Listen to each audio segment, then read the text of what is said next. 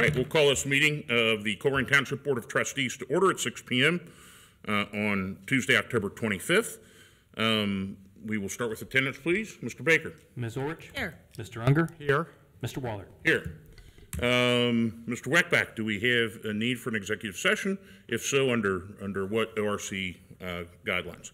Yes, I would actually uh, request a motion from the board to enter into executive session concurrent with uh, Ohio Revised Code Section 121.22 G1, which is to consider the employment and compensation of public employees, and in in uh, consideration of G4, which is for collective bargaining sessions and reviewing the terms and conditions of their employment. I would motion that we go into executive sessions for the items detailed by Mr. Weckbach. I'll second. Any discussion? None.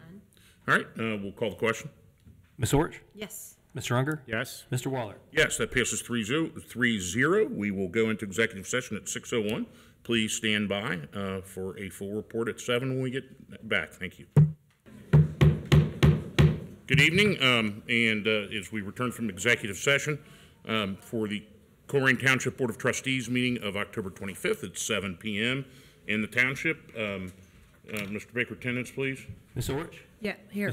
Mr. Unger? Here. Mr. Waller? Here, all are here. Uh, Mr. Weckbach, is there anything to report from executive session? There is not. All right, um, we will now move on to, uh, do the pledge and a moment of silence and meditation. I pledge allegiance to the flag of the United States of America and to the republic for which it stands, one nation, under God, indivisible, with liberty and justice for all. If we just take a moment, um, uh, of silent meditation to, for all those, um, petitions we hold in our hearts and in all that we hold public and for the township, uh, our state, and our country.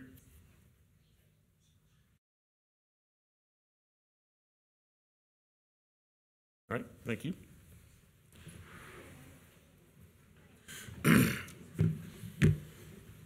All right, um, now a approval of minutes. Uh, You have been provided, we have been provided with uh, uh, minutes from Mr. Baker. Are are there any motions at this time? I motion that we would approve the minutes from the October 11th meeting. I'll second. Any discussion? I sent one uh, typo, and I think you corrected it. No other comments? Okay, seeing and hearing none, we'll call the question then for vote. Mr. Baker? Ms. Orich? Yes. Mr. Unger? Yes. Mr. Waller? Yes, that passes 3-0. We have uh, with us this evening a number of presentations, and we'll start with the fine folks at Fire and EMS with uh, Chief Walls uh, introducing and swearing in newly promoted employees. Chief, welcome. Thank you. Good evening, Board. Good evening to everyone in attendance this evening. It gives me great privilege to uh, introduce and swear in our three newest career firefighters. At this time, I would like Sam Woodward, Andrew Harrington, and Linnea Head to come up here and face the crowd. Sam tonight's going to be sworn in by his wife, Maria. He's a product of our Colerain recruit class and has an associate's degree in theology. Andrew will be pinned tonight by his mother, Lynn. He graduated from the Butler Tech Fire Rescue Academy in December 2021, and he's currently attending the Colerain Paramedic Program. Linnea will be pinned tonight by her husband, Will. She attended the Colerain Recruit class. She has a Bachelor of Arts in Philosophy from Xavier University, and I think it would be fair to say is an accomplished artist. Would that be fair? So at this time, I'm going to have Sam introduce his family. Yeah, so I'm here with my mom and dad, Mike and Janie Woodward, my two sisters, Hannah and Ariel, my brother Isaac, and his two daughters, my nieces Naomi and Ellie. Thank you. Andrew? Uh, I'm here with my mom Lynn over there, my uh, sister Kaylin, my niece Zuri, my sister's husband Anthony, and then my friends Alexis, Kylie, and Cody in the back back there. Oh, Linnea? I'm here with my husband Will, my dad, my stepmom Melanie, my friends Micah, Michael, Ellie, Ben, and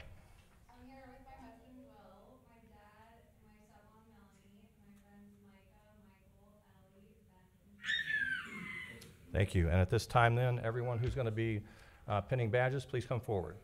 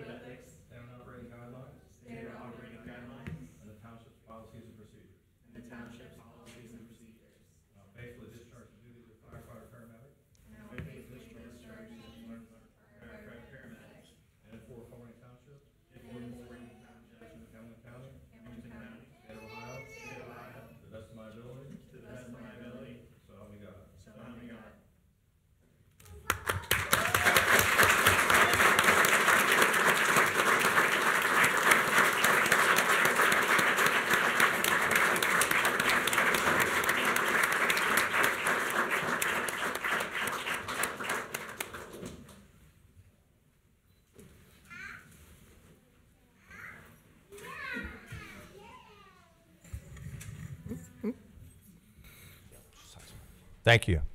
Congratulations and. Congratulations.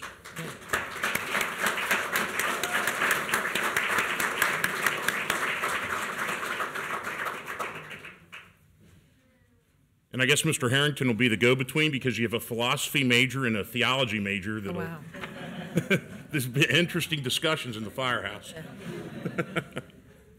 Once again, a beautiful display of friends and family. Just stick around for the police swearing. Okay. Uh, We're, in, after this, uh, uh, we're going to do a police swearing in. Mr. Unger asked that if, if we would all just stick around Our for, fire folks would uh, stick around for the next one. thank you so much. Uh, Next, we have item B, presentation by Chief Cordy, um, introducing and swearing in newly hired police officers.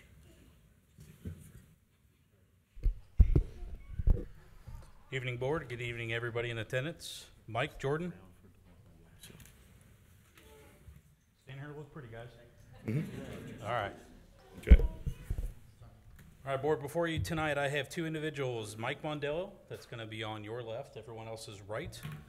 Mike joins our department as, uh, with nine years of law enforcement experience. Mike's come to us from the city of Woodlawn, where he worked uh, and held the rank of sergeant. Mike went to Roger Bacon and the University of Cincinnati, where he obtained his bachelor's degree in criminal justice. Jordan joins our department from Hamilton County Sheriff's Office, where he served as a corrections officer between Hamilton County and the State of Michigan Department of Corrections. Uh, he was a corrections officer of roughly three years. Mike went to high school, college in, in Michigan, and moved to the greater Cincinnati area in 2020. Uh, if I could have you both uh, introduce your family, if you would, please. I'm here with my wife and my son Tristan and Tamika Shannon. So that's the family today. All right, Mike?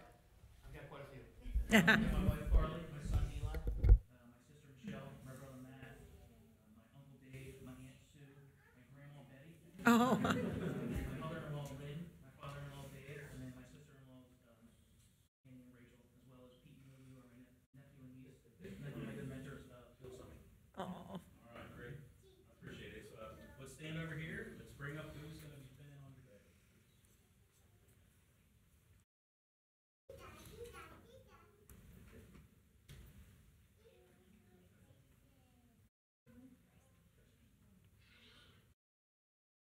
Come on, Eli, we need you. Oh, cute. Now it's a cute picture. All right, guys, ready? All right, for the sake of it, I'm gonna slow down. I know you get a lot. I've been here, I know, I get it. All right, I. I. State your name. Mike Mondell, George Shannon. All right. Do solemnly swear Do solemnly swear that I will uphold that I will uphold the Constitution of the United States the Constitution of the United States of America of America and the Constitution and the Constitution of the State of Ohio and the State of Ohio and its bylaws. and its bylaws. I will abide by I will abide by the Colerain Police Department the Colerain Police Department mission and value statement, mission and value statement, code of ethics, code of ethics, rules and regulations, rules and regulations, police department policy and procedure, police department policy and procedure, and I will faithfully discharge and I will faithfully discharge the duties of police officer the duties of police officer in and for in for Corning Township, Colerain Township, Hamilton County, Hamilton County, State of Ohio, State of Ohio, to the best of my ability, to the best of my ability, so help me God. so help me God. Congratulations. Thank you.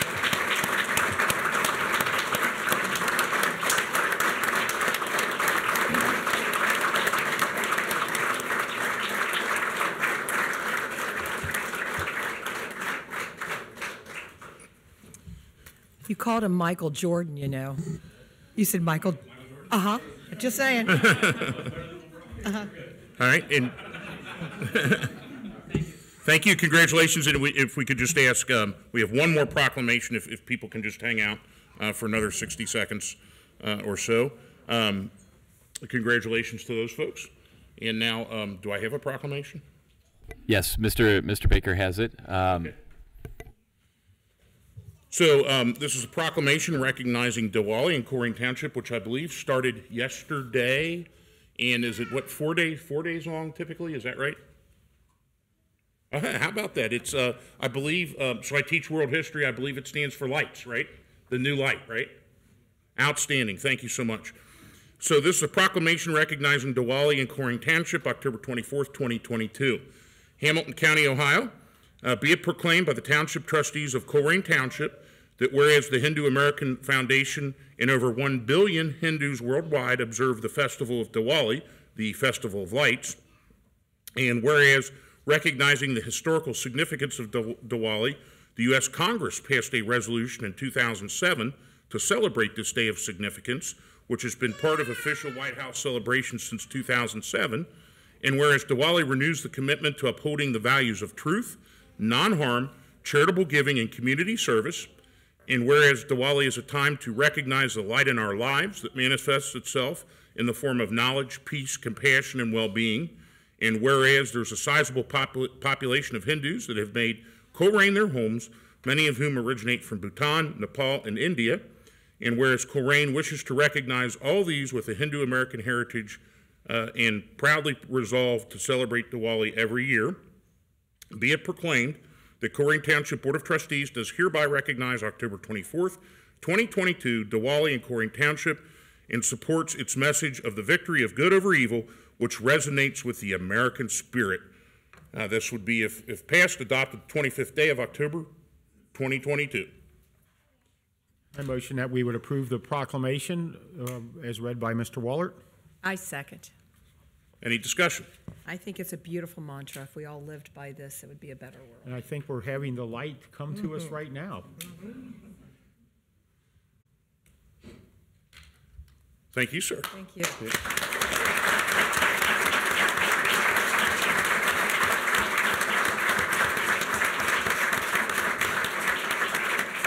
So we will, we will have a quick vote, and if you'd like to, if anybody from you or anyone from your organization would like to say a few words, uh, but we'll call that question to vote.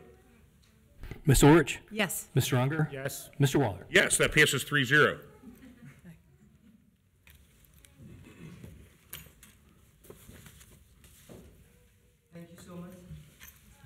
Okay, turn it on. Thank you. Thank you so much. We are so grateful, we are very thankful to Colerain Township Board, Administration, Police Department, Fire Department, as a whole, the resident of Colerain Township. Uh, Diwali is one of the major festivals that we celebrate, that Hindu people celebrate. And uh, after like 10 years of staying in Colerain, this board has now this year passed the um, proclamation. So we are very much thankful to the present administration and present board. Diwali is a festival of light. We celebrate every year. It falls in October, November, according to the Hindu calendar. So we are proud to be the resident of Colerain. We are proud to be the resident of Hamilton County and a proud citizen of this great country. Thank you. We're proud to have you. Thank you so much.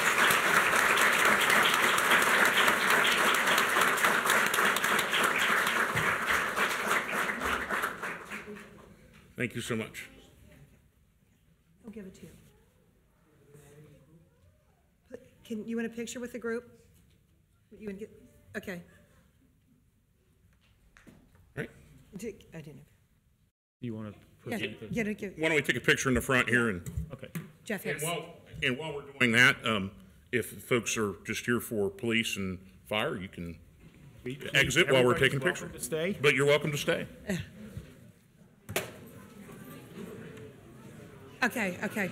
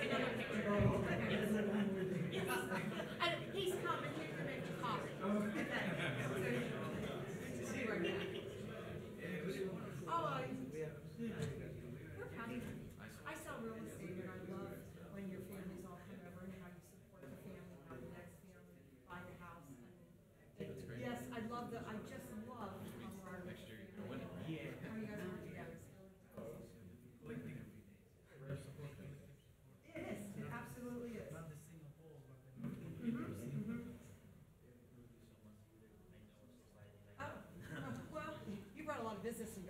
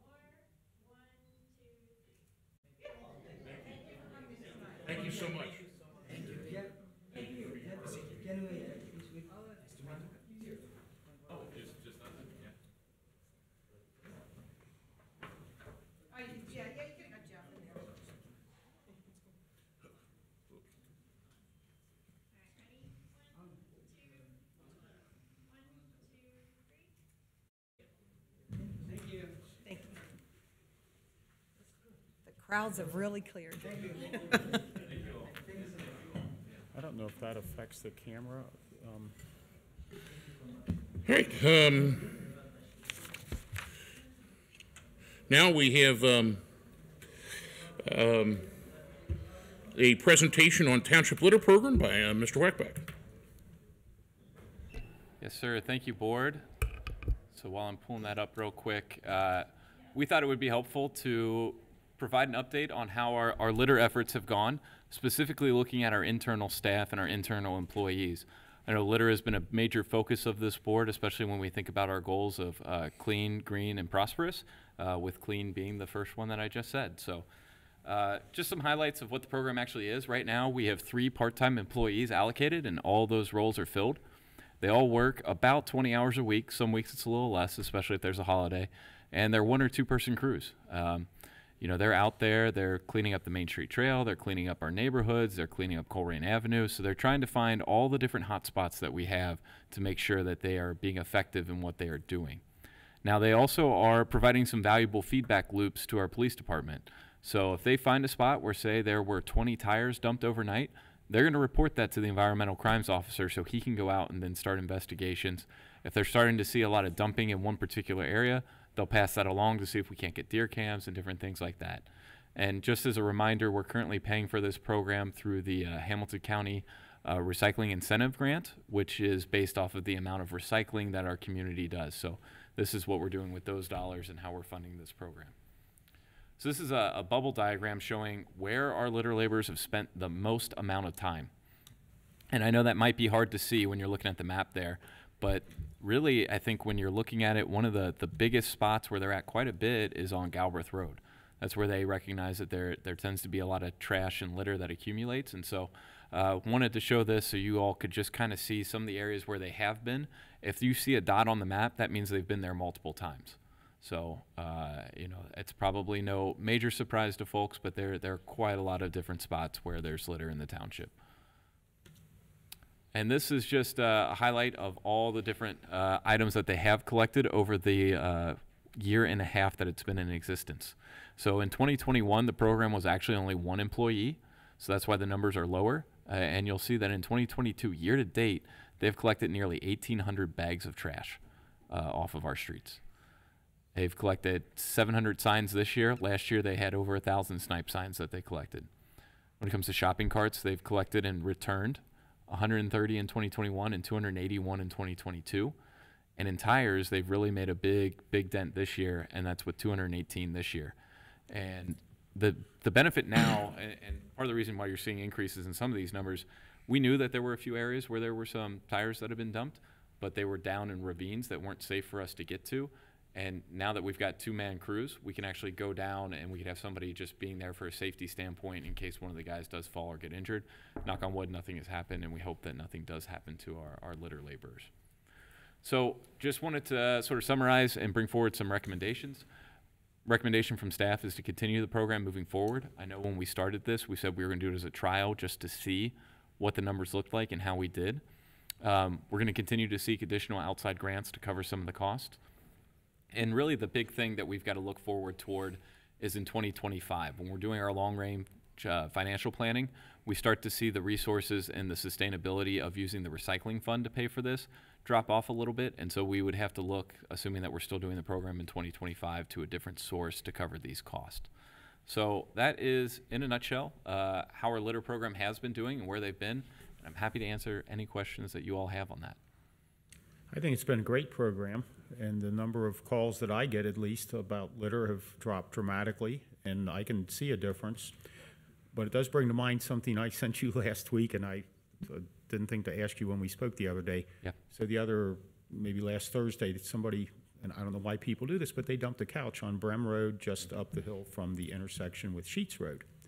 I sent you a picture of it. Yep. And you were going to see if Hamilton County would pick it up, or you, you might not know if we Well, went out. and it. actually, in this case, uh, with that couch, um, Hamilton County, it was, it was so close to the road, we felt it was a danger that we just went ahead and had our crew pick it up without Okay. waiting on the county, so. Great, and that's, and if people wonder where their dollars are going, it's to, you know, pick up when uh, people decide to dump junk in the roads, and please don't do that. And if you lose something, you know, that falls out of your truck, please call, call our police and don't leave a hazard in the middle of the road. Because we're, we're not looking to penalize, we're looking to keep things cleaned up. Right. If you dump on purpose, then, then we're gonna come get you, so. But thank you for handling that, I didn't get to ask you that. Yep. uh, Earlier. I, I too think it's been a fantastic program. I, I know that, uh, um, when this first originated, I went to, I went to Mr. Milz and, and he, I, we copied this, uh, without apology off of Springfield Township. Mr. Unger made it even better by getting us a free truck, um, which was helpful, um, in this. Um, well, just a reminder, um, you know, we're in that season. Uh, I think it's 14 days from today, um, where there'll be, uh, an election. And there are a lot of election signs out there. Uh, just a reminder to the candidates to pick them up. And, you know, I, I think all three of us have been there when, you know, you're, I, I get it, you're not picking it up Tuesday night, but, you know, by Wednesday, Thursday, Friday, they should be up and out of the way. And I still see some signs from the primary. When was that, May? Uh, I picked up a couple the other day that were uh, May primaries, and I think the the one of the big tests for a candidate that loses, um, it just a, a character test, is if they're out there picking up their, their signs after they lost. Any winner can go pick up their signs, um, and I've been on both ends of it, and and it's really hard once you get your brains kicked in to go out and pick up the signs after you lost. But I think it's a responsibility. I've, I've done that before too. yeah, it's about it's about the most awful thing you can do. It's a reminder every sign you pick Last up. time I was out till two in the morning and I got them all picked up pretty quick, so.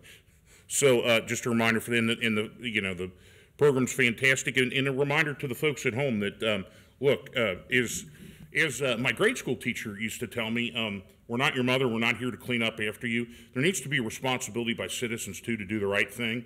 Um, there's a ton of responsibility by citizens helping out uh, in a number of programs, but just don't do it. I mean, I, I guess I I, it, I don't understand why people would want to throw trash in their own home. Um, and stop it. Thank you. I agree. I agree. Uh, I think the numbers speak for themselves, and I hope we continue with the funding we have and put it in our budget if we can't get the funding. Um, I think it's a well-needed program, and I like seeing the clean streets. And I love seeing the green garbage bags every other Saturday on the highway. Love it. I don't love seeing that much garbage that people do feel that we need to clean up after them. All right. Uh, there's no action by the board. It's just a receipt of that report, and uh, that will also be the case with item E with Mr. Weckbach with the presentation of traffic calming by Township Administrator Weckbach. Yes, so Board, if you recall, at uh, prior meeting, I think this was either in September or the first meeting in October, uh, we discussed the 2023 road plan as well as the five-year road plan. What I committed to do was to have us go out and install speed signs so that we could collect data to see which roads have speeding issues, what that speeding issue looks like, to then come forward and have a conversation with you all around potential issues with uh, need for traffic calming. And so uh, this report will highlight what we saw, and that way, if we do go out to repave these streets and want to install speed bumps or speed cushions or whatever that is, makes more sense to do it while we're actually physically repaving said street. So, um, did want to highlight real quick that uh, despite installing these, we did have an issue with the machine collecting the proper data on, on Renetta, so we do not have data for that. And uh, we did not collect data on Gila because that connects to Tripoli, and so it was one long street. So this is this is the chart that just kind of highlights what the speed was, the average speed. So you'll see on Westerly it was 23, on Menominee it was 25, on Haverhill it was 20, on Tripoli it was 17, and on Butterwick it was 17. These roads all are 25 mile per hour streets. Again, and I think I've said this in the past, for it to be an average speed of 25, that means you've got some folks going over 25 and some going under 25. Uh, so keep that in mind. I also wanted to highlight what the maximum speed was that was recorded on any of these streets because sometimes it's not about the average, but about you know finding a way to prevent people from going extremely fast. Um, out of all these streets, Tripoli had the the highest number, which was 49 miles per hour. Somebody was driving on that road. Uh, Menominee did have a 37. Westerly, Havernal, and Butterwick were all sub 35. And so, with that, wanted to either leave it open to discussion and questions from you all at this point. We do have an agenda item later in the agenda to discuss this more. So, if we wanted to wait until then and after resident feedback, uh, we certainly can do that as well. I would say wait until Yeah, let's resident That's feedback and Yeah. And that is the report. All right, um, we have, uh, two folks signed up for citizens' address. I'm sorry? There's no more out there. I don't think so, but. I just checked. Okay. Um, uh, first, um, uh, Mr. Prano.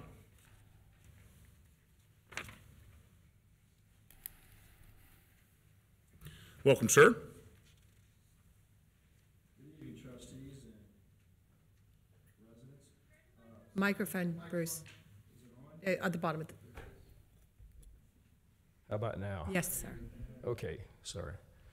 Uh, what I'm here to talk about tonight is the elections are coming up, and there's bond issues on the, particularly for the school board, for the schools. And as a person who's part of the forty-eight percent of the people who pay for all the federal, state, local activities, I'm getting fed up. Uh, the school board wants to have another four point something mill levy. And for a uh, school board that the schools are not functioning well. They've actually cooked the books in their, uh, submissions to the public on how well they're doing. That, uh, they need to look at what they're spending their money on, and buildings are not always it. It's teachers, and if you can't get the teachers to do what they're doing, you need to find a different way of funding education. Uh, And this, also looking at the senior citizen levy, the hubris of the folks putting this on the ballot is, give me all of it or give me nothing.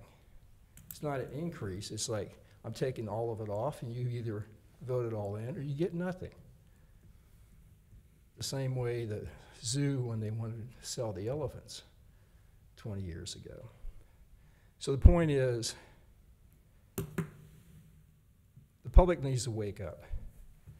And the folks that own property, who rent, need to charge back and let the tenants know that their rents are going up because of all these levies.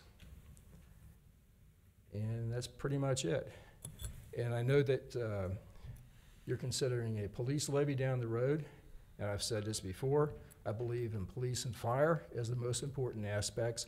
It should not be hidden as a separate levy because people will vote for it. We need to look at what the entirety of the township needs and then rank it. And as somebody I watched on two or three weeks ago or last month, uh, pickleball, really, I know it's a thing, but if you can fund pickleball, you can fund the police. In other words, take it out of the lowest hanging fruit. If that's parks, whatever, that's where you take it. Thank you, and everybody go out and vote. Thank you. And um, our final speaker, uh, there are no others out there, uh, Mr. McVeigh.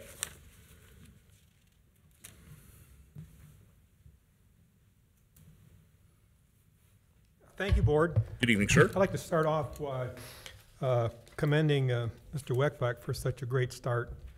He's, uh, he's a pleasure to work with. He sets the right tone. Um, I think we're going to see great things. And Jeff, I appreciate what you're doing. I can, I can sense it uh, in your presentations and how you're, you're dealing with folks.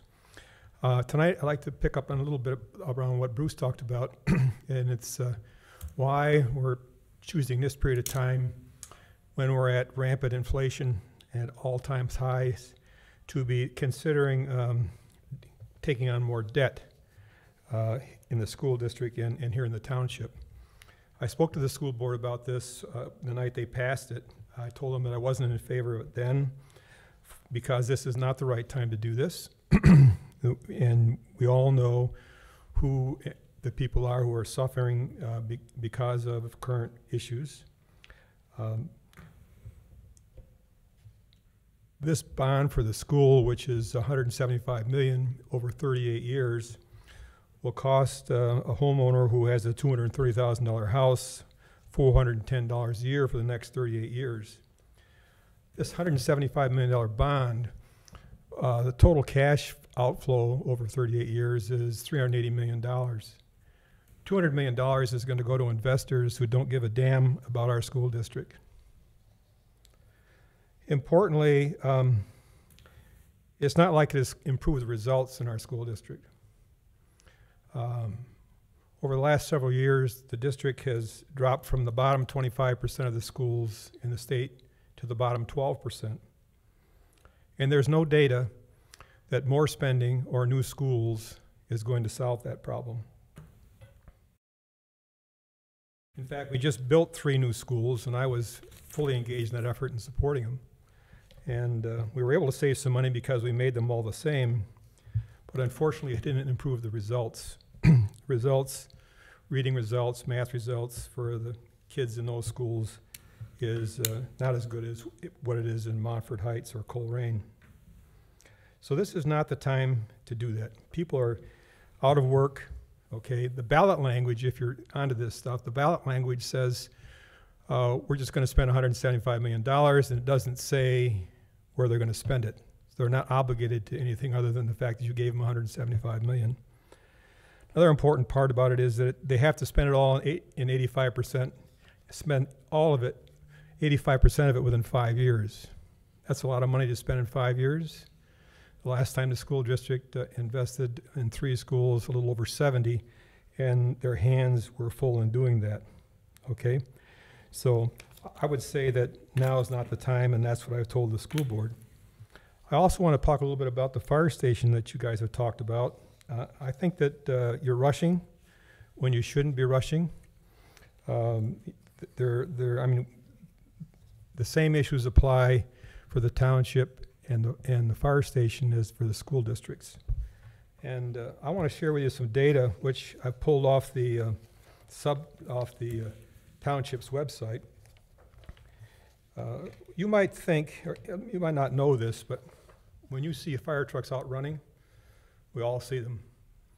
Uh, Less than five percent of the time, they're putting out a fire. Seventy percent of the time, they're chasing along uh, to support an EMT run, okay? And you've seen them there.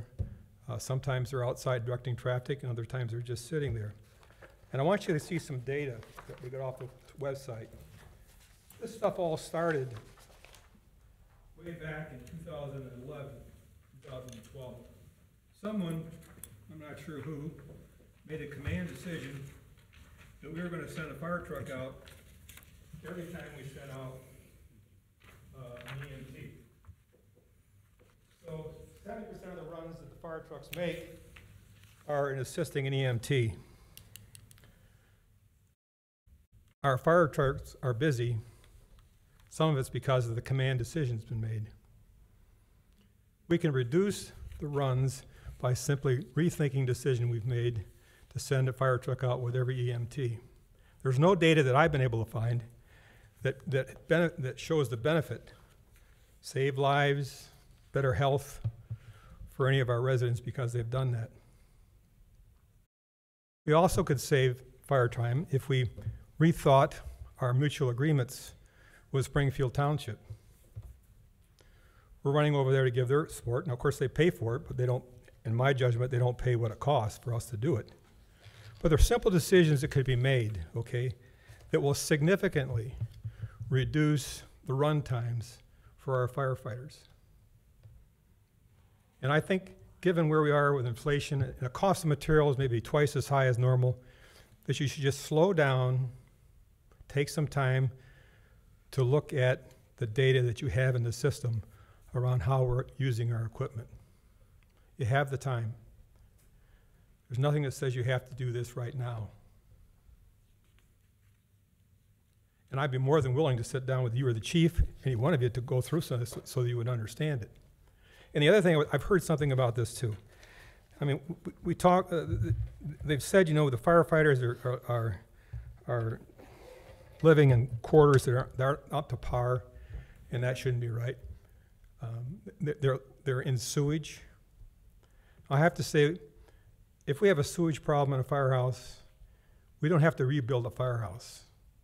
We dig up the sewage line and replace it, and you get rid of that problem. You don't have to build a new firehouse to do that. So I just urge you to take the time, you know. This is not the time to ask residents to put out more money for things that, when they're gonna cost much more than they'd cost if you just took some time to slow down. Thank you. Thank you, sir.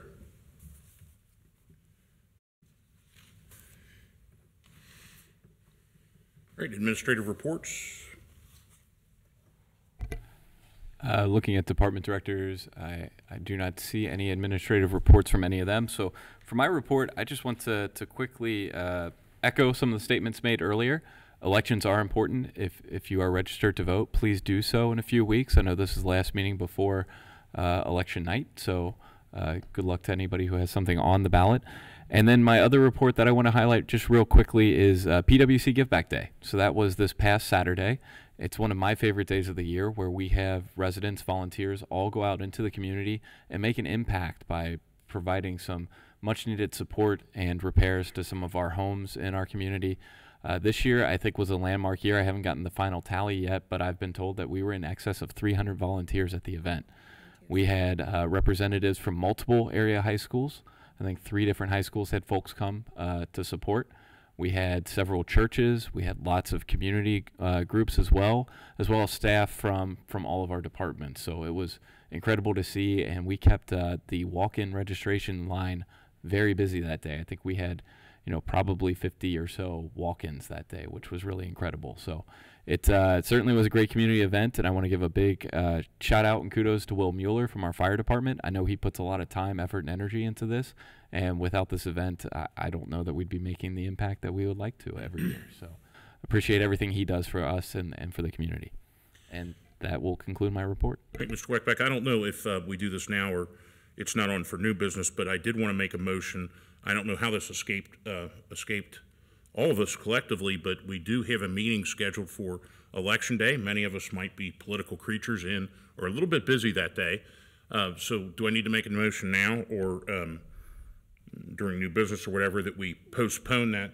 I don't have my calendar, the, To the 15th. to the 15th. Yeah, I believe you could probably make the motion at any point. yeah. So So I'm going to motion to, in, in, in, uh, I'm going to motion that the administration change the meeting that's scheduled, I keep wanting to say the 11th, that must have been, in- From it's November the 8th, 8th to the 15th.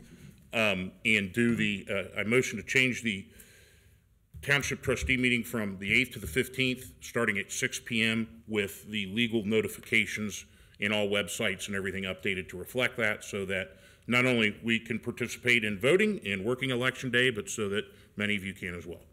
Is there a second to that? Sarah just indicated to me that zoning commission is actually scheduled for that night. It it is, Um, yeah.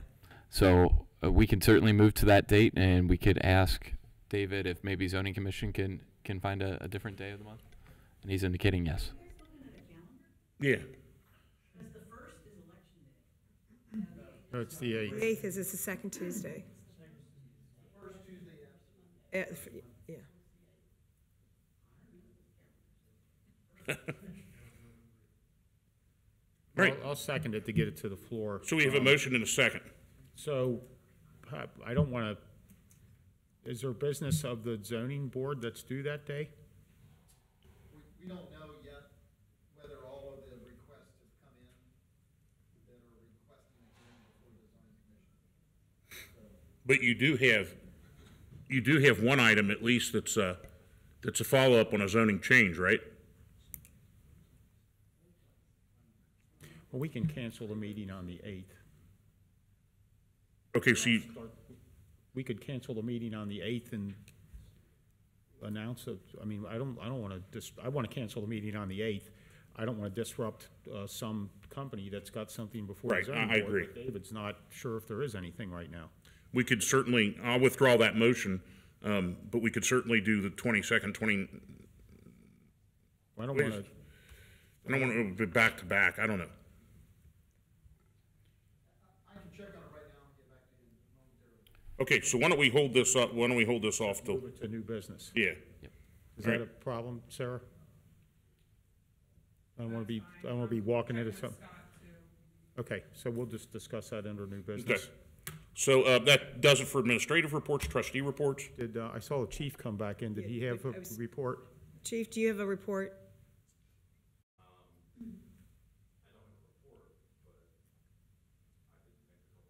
Why don't you come on up? Okay, Go ahead. We're back to administration reports. That's what you get for coming back in. Yep. Yep. Good evening once again. Uh, Just to address a couple things I heard. So um, I heard that we send a fire truck on every EMT call. That is not the case. We triage the acuity level of the call, and we send an ambulance with EMTs when it just requires an ambulance. And we send an ambulance and a paramedic engine when it requires a higher level of care. So an example would be if you fell down and broke your finger, we send an ambulance with a paramedic and an EMT if you're having a cardiac arrest, for example, your heart stops, we can't just send an ambulance with an EMT and a paramedic. We send an ambulance and a paramedic engine for that higher level of care because in that case, we need somebody to manage an airway. We need somebody to do CPR. We need somebody to start an IV. We need somebody to liaison with the family. We need somebody to grab equipment. And so um, we don't send a fire truck on every EMT call, just to clarify that. Um, outside of that, I think I heard something about uh, sewage in the building and just digging up the floor. To reiterate, uh, that fire station was built in 1966, was never intended to be inhabited 24 7, 365 by um, paid firefighters. It was a volunteer fire station intended for volunteer firefighters. Um, outside of that, uh, is there any other questions I could? I, I have a Go ahead. a question. Um, we have an item coming up here about the five-year plan for, for road repairs and, and traffic calming devices, and I know sometime back, I had uh, brought that up to Chief Cook. And what is your feeling on, on speed tables or speed cushions as far as, do do you think there's value in having those? Uh, I think that's a very fair statement, and it would be counterintuitive for me to stand up here and say we shouldn't do something that would provide an enhanced level of safety perhaps to a neighborhood. I understand that you have to balance uh, the financial aspect with safety. Um, we also have to understand that there could be a reduced response time. It could be 10 seconds, it could be 20 seconds, it could be a minute or two. And so, you know, for me to stand up here as, the fire chief and say, I'm opposed to traffic calming devices, I, I- can't say that. I would say that it requires a conversation like we've had, choosing the right path, and then um, moving forward with, our- what- with whatever that recommendation is. You know, from my perspective, uh, having been a paramedic for 24 years now, um, having taken care of any number of patients, children included. Um, those kinds of incidents don't just go away in your mind the next day. And so if a traffic calming device can prevent things like that, um, sure. So it could be a good idea. Yeah. The, um, some of these streets, and I saw our speed calculations on some of these streets, and I, I know a couple of those are in our road program in the next year or two, and I think that's why this item is on here. And if there's an economical time to install some traffic calming, it would be ideally, you know, when the street's being reconstructed. Um, I tend to favor such things, having a, a very long background in the, in the paving business, and the fact is, it does slow traffic down, and for whatever reason, and I don't recall it being that way when I was younger, um, people seem to pay a lot less attention to cars going down the street. They're either preoccupied on their uh, phones or texting or, or whatever, and I just think there's value in, in slowing traffic down, and, and you mentioned your, your many years as a paramedic. It must be terrifying to see a kid or somebody got knocked off a bike or was on the, thought they were on the sidewalk and they were on the corner of the street and the cars were going a little fast and, and, uh, my, my question to you was, is there value in, in having them? I don't do paving, but I do do safety, and, and my answer would be yes. Okay, And it would seem to make most sense to me then, not doing paving, but doing safety, that installing them at the same time that you're paving. right. Would be And that, that's, I was in that industry for, for twenty-plus years and, and, um, I know Cincinnati has them in a lot of places and it's, it's been subject of debate and we've done some, some, uh, put out these speed monitors and, and, and put together data.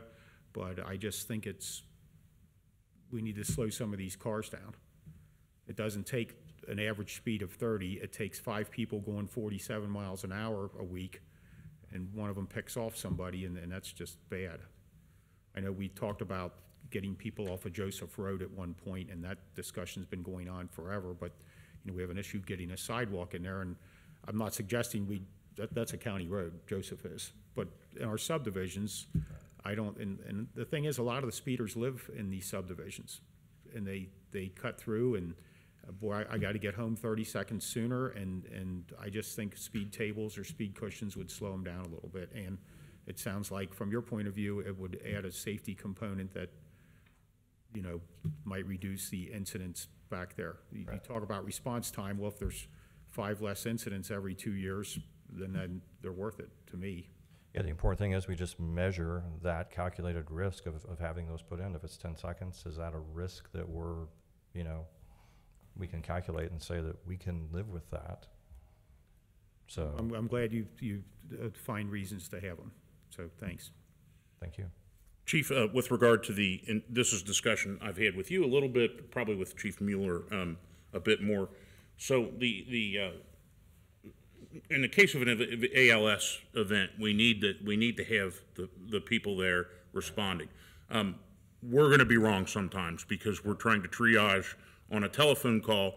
And um, if we're going to be wrong, I, I guess it- it's, it's kind of, I think we probably agree on this, I'd better be wrong in overreacting than underreacting when it comes to, to somebody's life, I think. That would be a fair, very fair statement, and we take a lot of time uh, and effort into building our response plans so that we don't undersend resources, and we also don't oversend resources. Um, you know, the problem with undersending is it impacts life and property. The problem with oversending resources is it can impact life and property too, because now we have everything here, but there's another incident here. So then it prolongs response time to there. So we do our due diligence, we look at national standards, and we try to be very careful about um, the decisions that we make when we build out response plans and sending the appropriate resources. It's kind of like a football team. A football team just doesn't, doesn't have 11 quarterbacks on the field. They have an No, there's only line. one Joe Burrow. Exactly. Uh, they have a quarterback, they have an offensive line, they have a tight end, they have wide receivers. When we're building out our team on the incidents that we respond to, we try to pick the right team to put forth on the field to win the game. And I, I've been very vocal about the fact that uh, these numbers keep climbing, and we need to somehow del- uh, um, somehow disrupt our delivery services. And um, uh, to kind of phrase it uh, inelegantly, that ain't it. Um, it- And I had this. There's now a computer program that I feel so uncomfortable with that that makes the decision for you. And um, I don't know if you're familiar with that program, but uh, um, Chief Mueller and I had a long discussion about a computer making that decision and how, ugh, you know, it's, it's An- Another thing to, to, to think about, and we've talked about that, is community paramedicine. When we can get out ahead of things and we can reduce those repeat calls, that has an impact as well in terms of um, being available for uh, other incidents. And, and so, you know, it's, it's a holistic approach to emergency services. It's not just as simple as, well, you shouldn't send a, a fire truck on every EMT call because we don't. And the data suggests that community paramedicine does reduce the calls, um, and that's something that we're, that we're working towards next year, um, bringing back in, in some segment. And I've, I've talked to, um, uh, uh, Chief Mueller about that in the uh, Hamilton County, um, Health Department about getting, getting hospitals buy-in, because, um, the way, the way that it works, and this is a big education for me, is that if I'm transported to a hospital and, uh, by, um, by ambulance, and then within thirty days, I'm transported for the same, the same issue, uh, they don't get paid. Um, so there, there's a, we have a shared common interest with the hospitals in working to, to try to reduce those calls. And I think that there's, I think that there's some area to be made with us partnering with the hospitals and the hospitals paying for the parts of the community paramedicine program. And that's one thing that we're trying to sort out, but you need everybody on the same page. Um, and I would just sum up things with this from my perspective. Uh, the system that we've had in place since 2011, I believe was the date that I heard, one that we've tweaked along the way, um, is a system that works so well that the Ohio Department of Public Safety uh, designated us as the EMS agency of the year just a few short years ago. And I'm going to validate what you have said. You've been a frequent flyer at my, I've been a frequent flyer for the fire uh, EMTs at my house, and there's never been a fire truck. It's always been an ambulance or, or a paramedic, one truck. I have elderly parents that live with me, so I'm, I'm right there to validate what you've said. Yeah, and, and just to clarify that too, sometimes, you know, we have um, GPS location systems on our vehicles. If it so happens it's an ambulance call, but a fire truck is driving down the road, well, guess what? If that fire truck is closer, tag, it's it, and it gets there first in two minutes instead of six minutes by virtue of um, automatic vehicle location systems. So sometimes the fire truck does show up when the fire truck shouldn't show up with the ambulance because it's a BLS call, but it was closer via AVL and gets tagged onto the run. Mm-hmm. So there's exceptions to, you Right. know, we don't send fire trucks in every BLS call, because my question then would be, even if you just fell and, and broke a hip and just needed an ambulance, would you want a fire truck that was close by there in two minutes to help begin to render care? Or would you want to wait six minutes for the ambulance that was coming from the fire station? I think we would probably say, Two. I'd want somebody there in two minutes because they were closest. So, Any other questions? Thank you so much for Thank your you hard for work. coming. Thank you, sir. thank you. All right, um, David, do we have any? Yes, there is a um, prospective business that is going to have an initial plan that's going to be reviewed. That why don't you come on up and speak at the, because we can all hear each other in this room, but on television, if you're in the crowd, we can't, they can't hear. All right, so for the November 15th zoning commission meeting, a couple items that are on the agenda would be presenting the 2023 meeting calendar to the commission uh, for their uh, uh, approval and setting the calendar out. And then there's an initial concept review for a business that is wanting to open in Colerain. It, if while we're in executive session, could they d- use the six, six, seven? What Would time that- do your, do your meetings start? According to the township website, they start at six, so we could That's what I- open our meeting, go into executive session, and then wait to start the actual meeting until zoning commission was think that would completed. That could save Waycross a trip. Did I hear that, Dana? Dana? Fine with me- Dana, She agreed. yes. All right, I'm going to make it more complicated because that day is the, the 15th also. Uh, Mr. McAravy has tentatively scheduled the JED meeting at 5:30. I guess that won't make it more complicated. It's just- No, so the JED meeting usually just lasts a couple minutes, so. Right. Yep. And the other thing that um, um, somebody um, mm, did mention to me, uh, sent, just sent me a text on, you know, it doesn't, it's not written in stone, it has to be on Tuesday. I know that that's kind of in everybody's schedule. Um, certainly, if it would work better Wednesday, I know that, however, Wednesday I have solid waste, Hamilton County Solid Waste at 3 p.m. Um, but, um, you know, that's, I think if, if, I think, I think that six to seven. I for think this- if zoning has a yeah. short agenda that evening, Yeah. we could make that work. okay, so I'm going to reintroduce my motion to cha, to, um, Cancel the November 8th. cancel November 8th and um, reschedule it for November 15th uh, uh, at 6 PM, um, and make all uh, necessary notifications to uh, press and interested parties that have expressed, uh, expressed an interest in being notified. I'll second the motion. All right, I- we can have discussion, or I think we've had a lot of, Add it. So that all would happen in this room? yes. And we'd, we'd leave and then, Yep. yeah. Okay. That, that'll be something different. We can try it out. Yep. I, I, well, I guess would it be better to make that instead of six PM, five fifty, and then we don't overlap? Is that? Seven fifteen to start the trustee meeting. That's I, I think it's fine if it's Okay. six, yeah. I- Okay. I don't think it'll be the end of the world. Yeah, I- yeah, I think it's just be a switch out. All right, Mr. Baker, call the question. Ms. Orich? Yes. Mr. Unger? Yes. Mr. Wahlert? Yes, that passes 3-0. For all of you out there watching then, the trustee meeting uh, scheduled for the 8th has been um, um, canceled uh, due to Election Day. Uh, Everybody go out and vote. And it's been rescheduled for the 15th, also a Tuesday, um, at 6 PM in, in uh, trustees' chambers. And all notifications will be made through media and all interested parties that, according to uh, ORC, have requested to be advised of such instances. Thank you.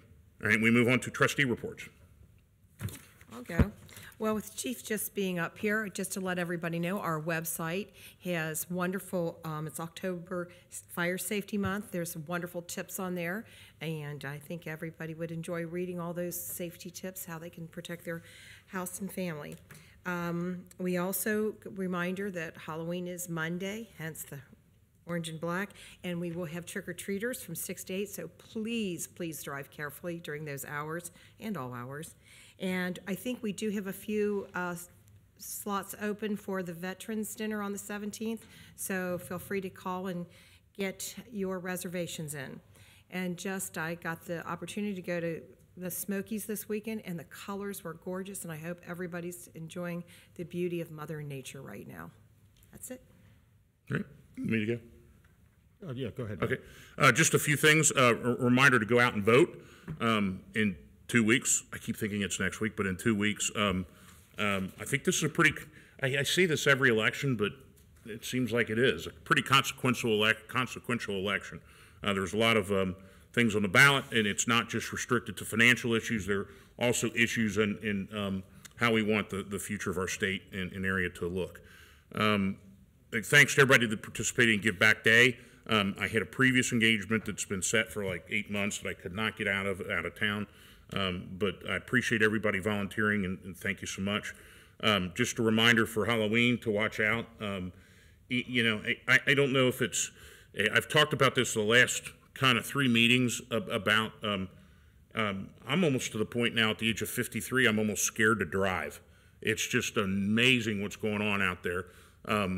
I, I witnessed uh, on the way to work the other day. Uh, I go down Grand and then turn on Glenway. Someone actually cut in front of me, drove up into somebody's yard, and knocked their privacy fence down and came within a few feet of knocking into their house because they were going too fast.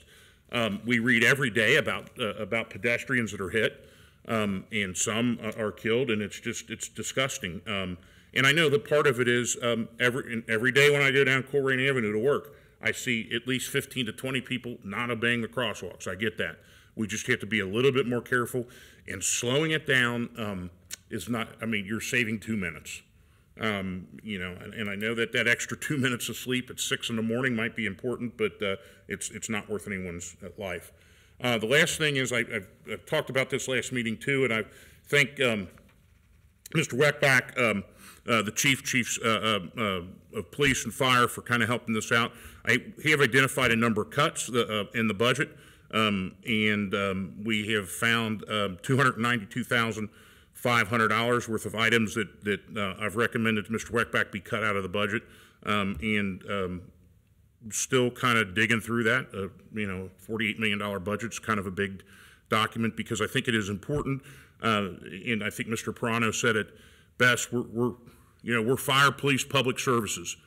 Um, that's that's what our, our focus is on uh, um, moving forward. So um, we need to provide that, and, and I'm of belief with the, the, the crime rate as it stands in, in our country, in our state, in our county, um, we need to have more, not less, police on, on the on the beat.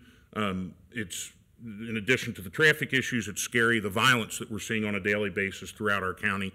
Um, you know, when's the last time you picked up a newspaper and saw? I think it was back to back in Westchester shootings, like day day on day. I mean, it's it's everywhere, and um, I think we need to stay in front of it, and I think we need to uh, to make sure that we have enough police out there to address it, because if not, it's it's going to spin out of control. And to be honest with you, the way the the way the uh, courts are going now, it's really catch and release. Uh, we, you know, our police put them in, they get let right back out, um, but we're going to just keep putting them in um, until we until we uh, solve this crime spike. So that's my report. Um, thank you so much, uh, Mr. Unger. Thank you, Matt. Um, uh, I talked about it earlier in the meeting. Thank you for getting the couch issue resolved. I hadn't had a chance to talk to you about it. I think our litter cleanup program has gone very well. Um, I've always made a habit, and, and we have a process, and please call the township if you see something. But if it's after hours and, or the weekend and you need somebody to call, I've always given out my number, 513-404-3057. I've, uh, I really appreciate the fact that our, our, um, trash investigator and Chief Cordy have worked well together, and uh, we've got a lot of these issues resolved before they, it's a lot easier to put out a candle than a forest fire, and, um, and Chief's done a great job of, of chasing these things down and getting them taken care of. I heard earlier mentioned about community paramedicine. There's another thing that you can do if you're a frequent flyer with, with police and hopefully not with police, but with fire and ambulances, is there's smart 911 system, and I believe that's a way of entering special information unique to your phone number. So if, if you had a, a heart patient or something at home, and, and you know you were at the point where you were calling an ambulance, as soon as you called 911 from your phone, I guess some of that information would light up on the screen, and our personnel would know that. So I would encourage our citizens to look into Smart 911 and see what um, if there's a benefit in having that information right there when you make your emergency call. Uh, there was another comment about the senior levy and the increase in it. I think that they're advertising it as is that it advertised as a, this won't raise your taxes? Yeah, I thought so But too. That was was- because five years ago it went up by thirty percent. Is is why they're not raising it now. I, at that time in my life, from uh, 2005 until 2016, I was a member of the Hamilton County Tax Levy Review Commission, and we reviewed these five-year levies as they came up for renewal. Well, having been there for 11 years, I got to see everything twice. And, um, and uh, God rest his soul, and I, I think he was a great man, but um, when Commissioner Driehaus was elected, Commissioner Portune uh, mentioned to me that it was time to roll me off of that committee and, and uh, bring in some new members. And the, the person that I was replaced with is my political opposite. And I believe he is still on that commission, but during my 11 years there, nothing went up by more than the rate of inflation. So as soon as I left was when that giant um, increase came to the senior levy. And I just always believe you need to balance the, the needs of, of these, uh, these uh, agencies with the ability of taxpayers to pay for them. And, and, you know, a lot of times people will, will pack up and leave our great county and go to outside counties because the taxes are less, but, you know, when they need something, they come back here to Hamilton County because we have all the resources that these things pay for. But with respect to the senior levy, the, the big increase was five years ago, and that's why I think it's a, they're advertising it as, um, there's no increase at this time. And I think that was, uh, I addressed the things that were brought up, and I think that's about it. To, to the smart 911, it's also, you can put, um, if you have a code on your garage or you have a dog, it's nice when police come in there to know that there's a dog or a cat. Oh, or an great. al- Have you- Or if, you you know, there's that? sometimes you cannot get to the door and they'll smash your door in, and if they have an alternative way to get in, it would save some. I have not damage to signed your up house. for it, but I do know it exists, and I, I, I give out the sheet for, for real estate. I- I yeah. probably, I probably ought to, uh, Yeah. to- everybody ought to consider that and just, you know, you don't want to give away too much information, but if, if you're a, on a, you think you're making critical emergency calls, it, it always gives our fire a heads up to know what the situation is when they're coming to your place. Thanks for bringing that up, and I believe the genesis of that was the Kyle Plush tragedy, uh, where the young man at, um, not Summit Country, Cincinnati Country Day was stuck in their parents' minivan behind the seat and folded over on him. And that's one of the reforms that I think is a fantastic, uh, reform that I think came out of that tragedy. We'll have to put you on local jeopardy. Uh, Actually, uh, we've had the smart 911 system for a few years before that. Yeah. So that I was was gonna tell you, it's a been a thing little- that they looked at the county and then the city adopted because that happened within the city limits. The city adopted, okay, yeah, that's right. So I'm, I'm only half wrong. So just as you're- you're a, as a final, what is the smart 911 system to your It's a Hamilton knowledge? County Yeah, so system. Smart 911 uh, is part of this whole package through Hamilton County where they uh, actually collect as much data as you're willing to share with them, kind of as Kathy and others were alluding to. So if you have a pacemaker, for example, as soon as you put that data in there and you make a call, that shows up on the dis- dispatcher's uh, desktop. So when they're talking to our fire, EMS, police, whomever that is, on the way out to the scene, they're sharing that information with them along the way so that when they get there, they know exactly who's there. You know, if you've got an elderly person at home that has dementia, that's an important thing to share as well because they may not know who they are. So when you're knocking on the door saying you're fire and police, they may not be willing to come to the door or know what to say or what's going on. Um, we've used it in a lot of different circumstances, and it's just a great all around tool. It also is tied into the Rave system. So when you sign up for that, if you're giving your cell phone number, let's say there's a power outage in your area, like uh, happened off of um, oh, Forest Valley not too long ago, we can actually go out and send an emergency alert to everybody within that area to say, hey, we draw a little polygon say, hey, all you folks, uh, power's out. Duke's telling us it's going to be out for six more hours. Uh, please find shelter outside of your area. Uh, traffic accidents are another way that we can push information out. So it's a really powerful tool that lets us do things in, in both directions. All right, thank you. Um, moving on then to um, new business. Uh, first, we have uh, public safety for a number of items. Yes, and those items will be presented by Police Chief Ed Cordy. Board? All right, I have before you, uh, A is the resolution declaring nuisance and ordering abatement.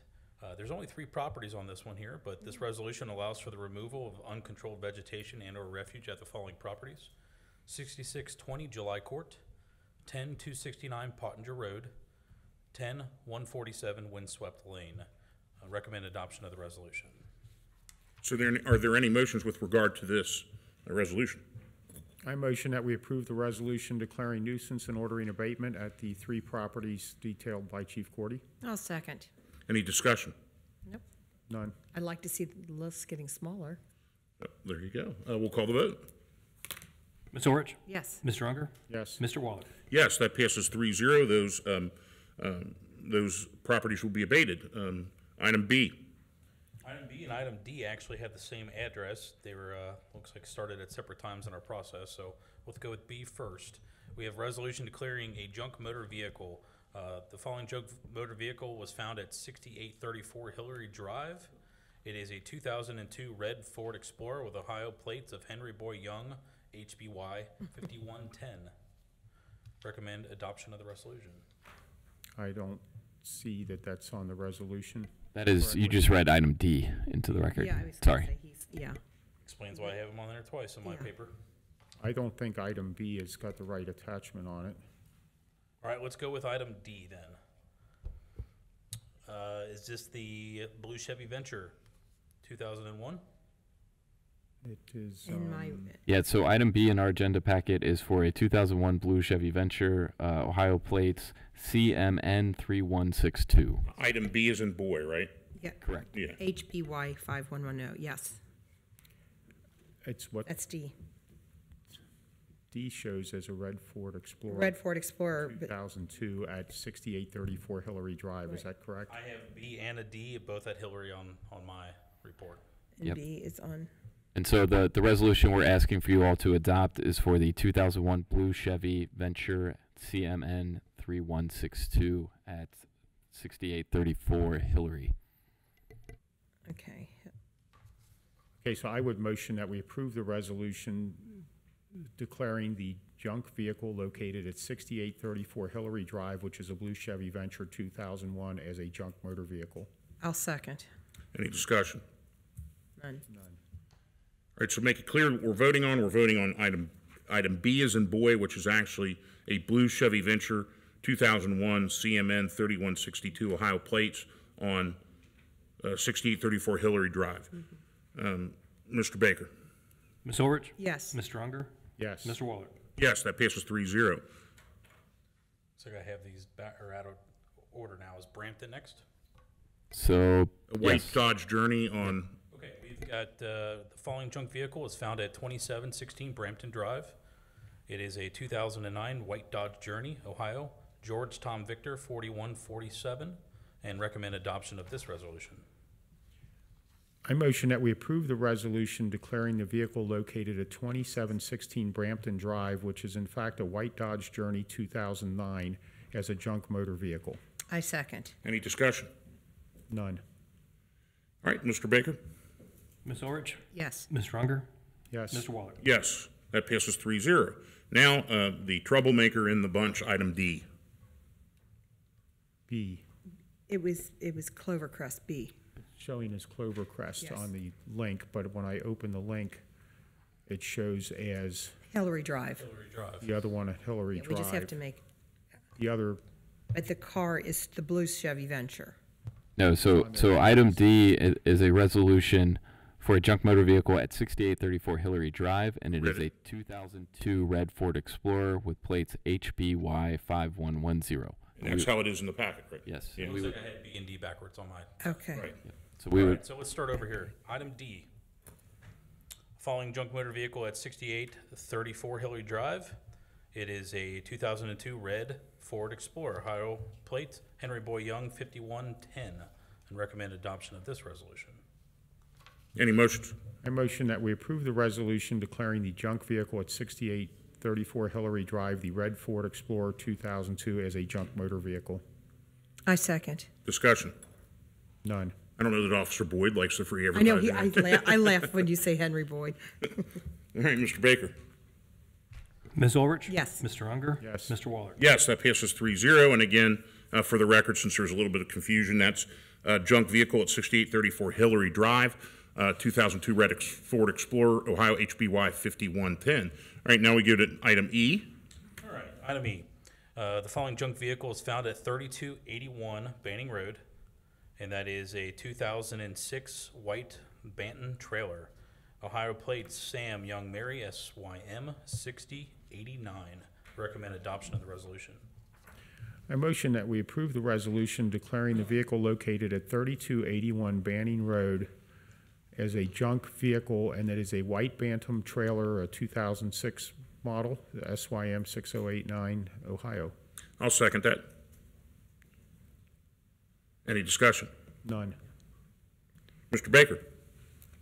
Ms. Ulrich? Yes. Mr. Unger? Yes. Mr. Wahlert? Yes, that passes 3-0. Last but not least, item F. All right, lastly, we have a, following is a junk vehicle found at thirty-four thirty-seven Holly Glen Court. This is a two thousand and seven blue Nissan Altima, Ohio, Henry Sam X-ray eighty twenty-one, Henry Sam X-ray HSX eighty twenty-one. Recommend adoption of this resolution. All right, any motions? Um, which address is that again, chief? Yeah. This is going to be thirty-four thirty-seven Holly Glen Court. Okay, soon as it opens here. Yeah. I motion that we approve the resolution declaring the vehicle located at thirty-four thirty-seven Holly Glen Court as a junk motor vehicle, and it is a blue Nissan Altima two thousand and seven. I'll second.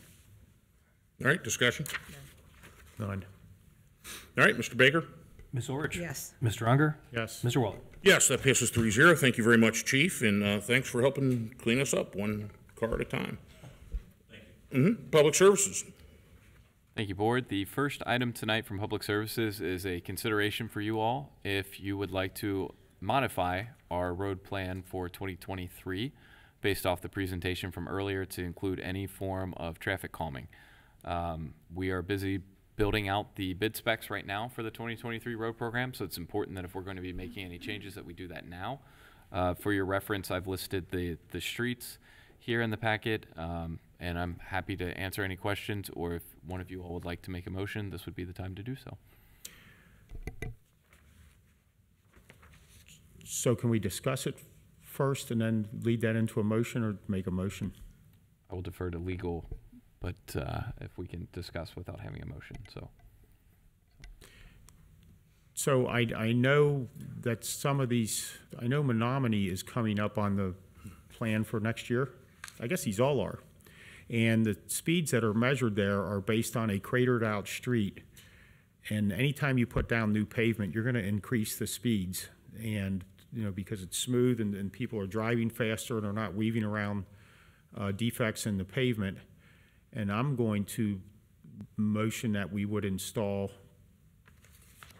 well, I'll, I'll wait a minute and see if uh, either or the other two trustees have a street in mind that think, they think might need, uh, speed, um, modification or traffic calming. Did you have any streets you were interested in? Yeah, well, the data that I saw, um, what about Tripoli? Tripoli's on here. Right.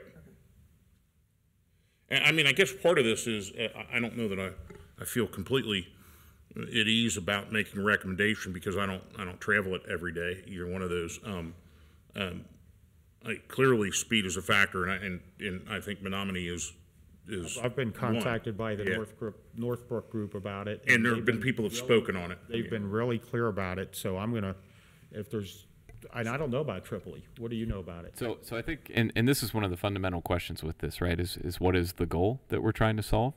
Uh, with Matt, with you saying Tripoli, to me that says maybe the goal is to solve for those really high speeders because Tripoli did have the highest rate of a speeder. It had a speeder at 49 miles per hour. Now, the average speed of the road was 17.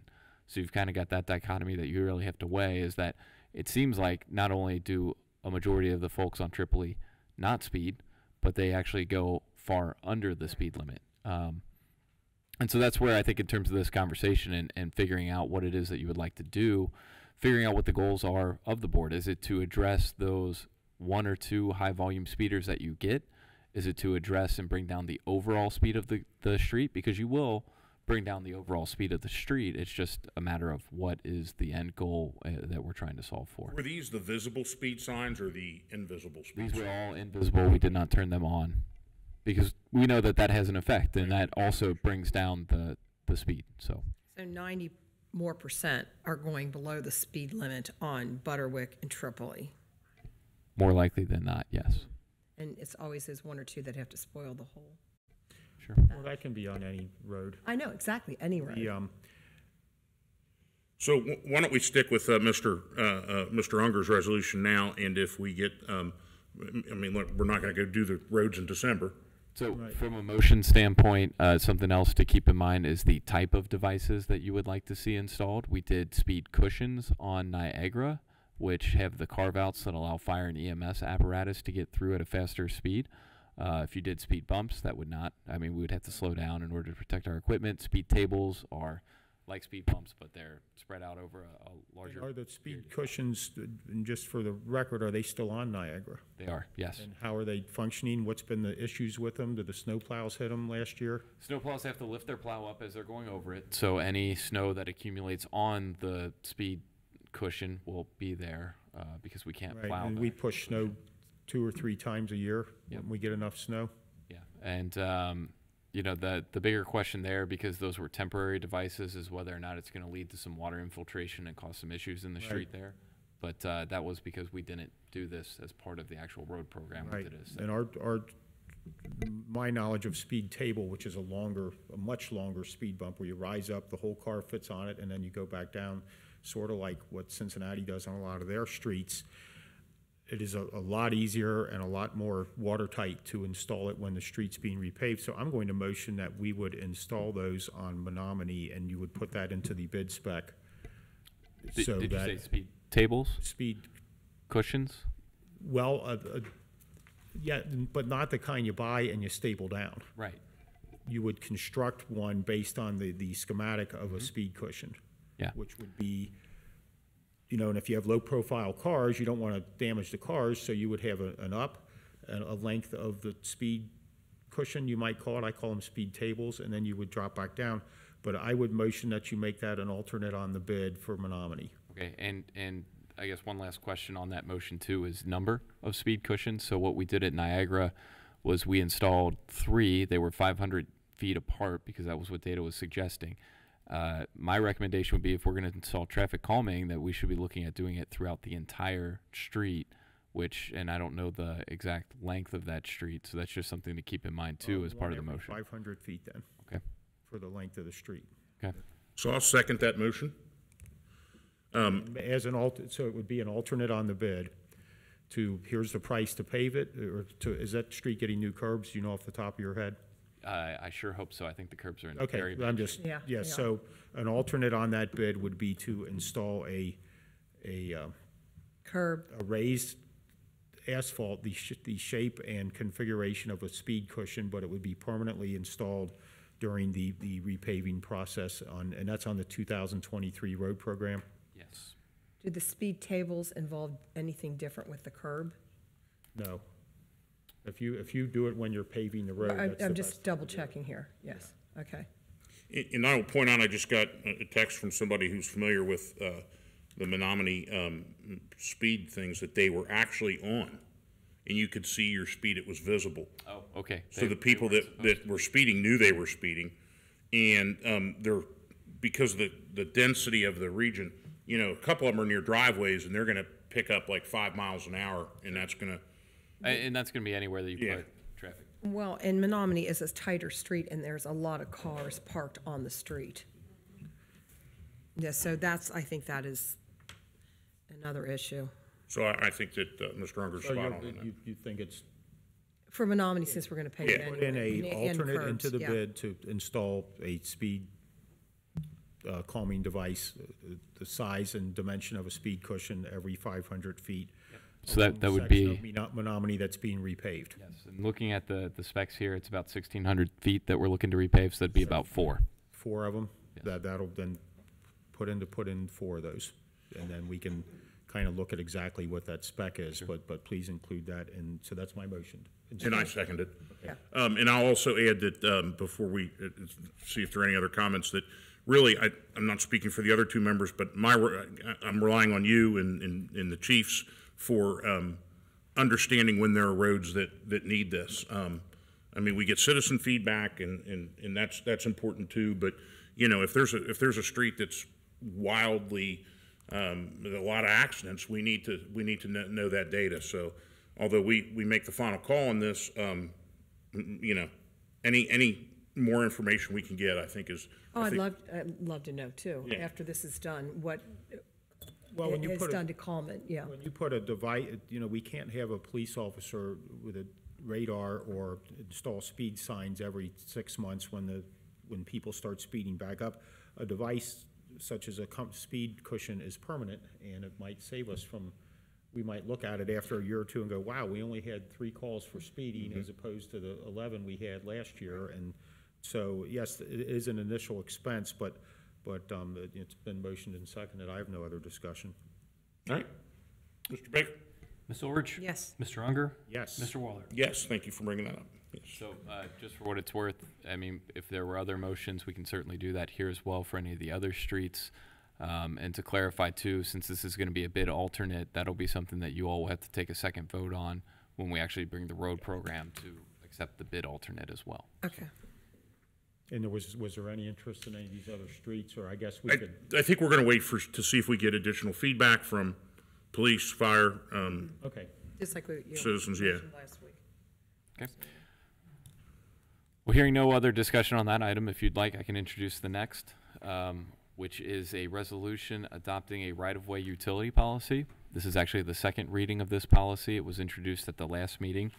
And as I mentioned then, and, and I'll reiterate, this is really to ensure that we all, and by we all, I mean the township and all the utilities are doing a better job at aligning our, our calendars so that we're all doing projects at the same time as opposed to coming back and ripping up a freshly repaved road. So um, I have shared our multi-year plan with various entities, including Duke Energy, Greater Cincinnati Waterworks, and MSD, and asked for their feedback and comments to start that utility coordination process. I've also shared a draft of this policy with them, and I did not receive any changes that they were recommending. So um, with that, I would recommend adoption of the resolution. I motion that we adopt Colerain Township right-of-way utility policy five point two eight. I second. All right, any discussion? I think it's long overdue. This is something that should have been done years ago. Thank you for getting it together. Uh, no comments from me. And- Mr. Baker? Oh, I'm sorry, go Oh, ahead. And I was just going to say, this is part, this, so we've been going through this process of trying to get accredited through APWA, and this was one of the things that came out as a recommendation from that. So it's, it is a very valuable process that we're doing there. Kudos to you. Mr. Baker? Ms. Ulrich? Yes. Mr. Unger? Yes. Mr. Wahlert? Yes, that passes three zero. Um, we go into development, Mr. Miller. I don't know if you know this, Mr. Miller, but I checked the, um, standings. It appears both the Eagles and Giants are ahead of the Cowboys. Barely. Yeah. Um, I don't count that. The item before you uh, is a motion uh, to set a public hearing for the demolition of 4519 Poole Road. Uh, Just about a year ago, There was uh, total, near total destruction uh, from a house fire. Uh, Very unfortunate, of course, and it has not been uh, able to be uh, repaired. And so this motion would set the public hearing for December the 13th at 7 PM, and recommendation is for passage. I motion that we would set a public hearing for the demolition of 4519 Poole Road for Tuesday, December 13th, 2022 at 7 PM. I second. Any discussion? None. None? Mr. Baker? Ms. Ulrich? Yes. Mr. Unger? Yes. Mr. Wahlert? Yes, that passes three zero. Uh, next, we bounce back to administration, um, and I guess Mr. is Mr. McElravy hand, uh, we'll try that again. Mr. McElravy. Mr. Mr. Mr. McElravy, uh, handling these items. Yep, all three items. Good evening, Board. Good evening.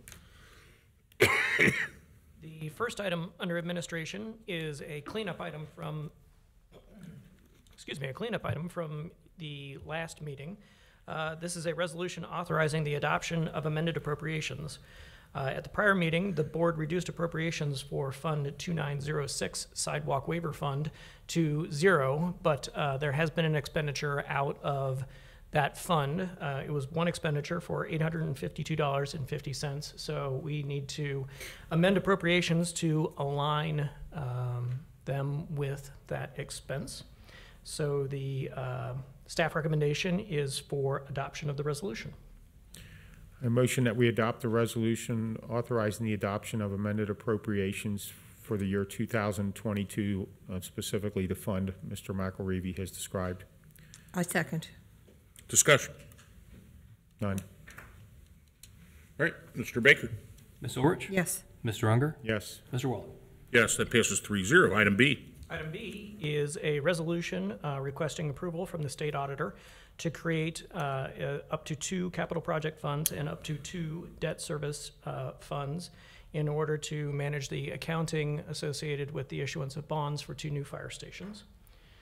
The, uh, the way that the resolution is structured is that it allows for um, up to two of each of these funds um, in order to give us flexibility as we consult with our uh, outside accounting firm and also with the uh, local government services uh, and the state auditor's office to make sure that we set this up in the appropriate manner. Um, um, I expect that where we're going to land is that we'll have one fund for each one, but we wanted to preserve the flexibility to separate out the two houses if need be.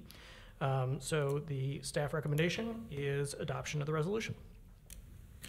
I motion that we would adopt the resolution requesting the auditor's approval to create capital project funds and debt service funds. I'll second. Any discussion?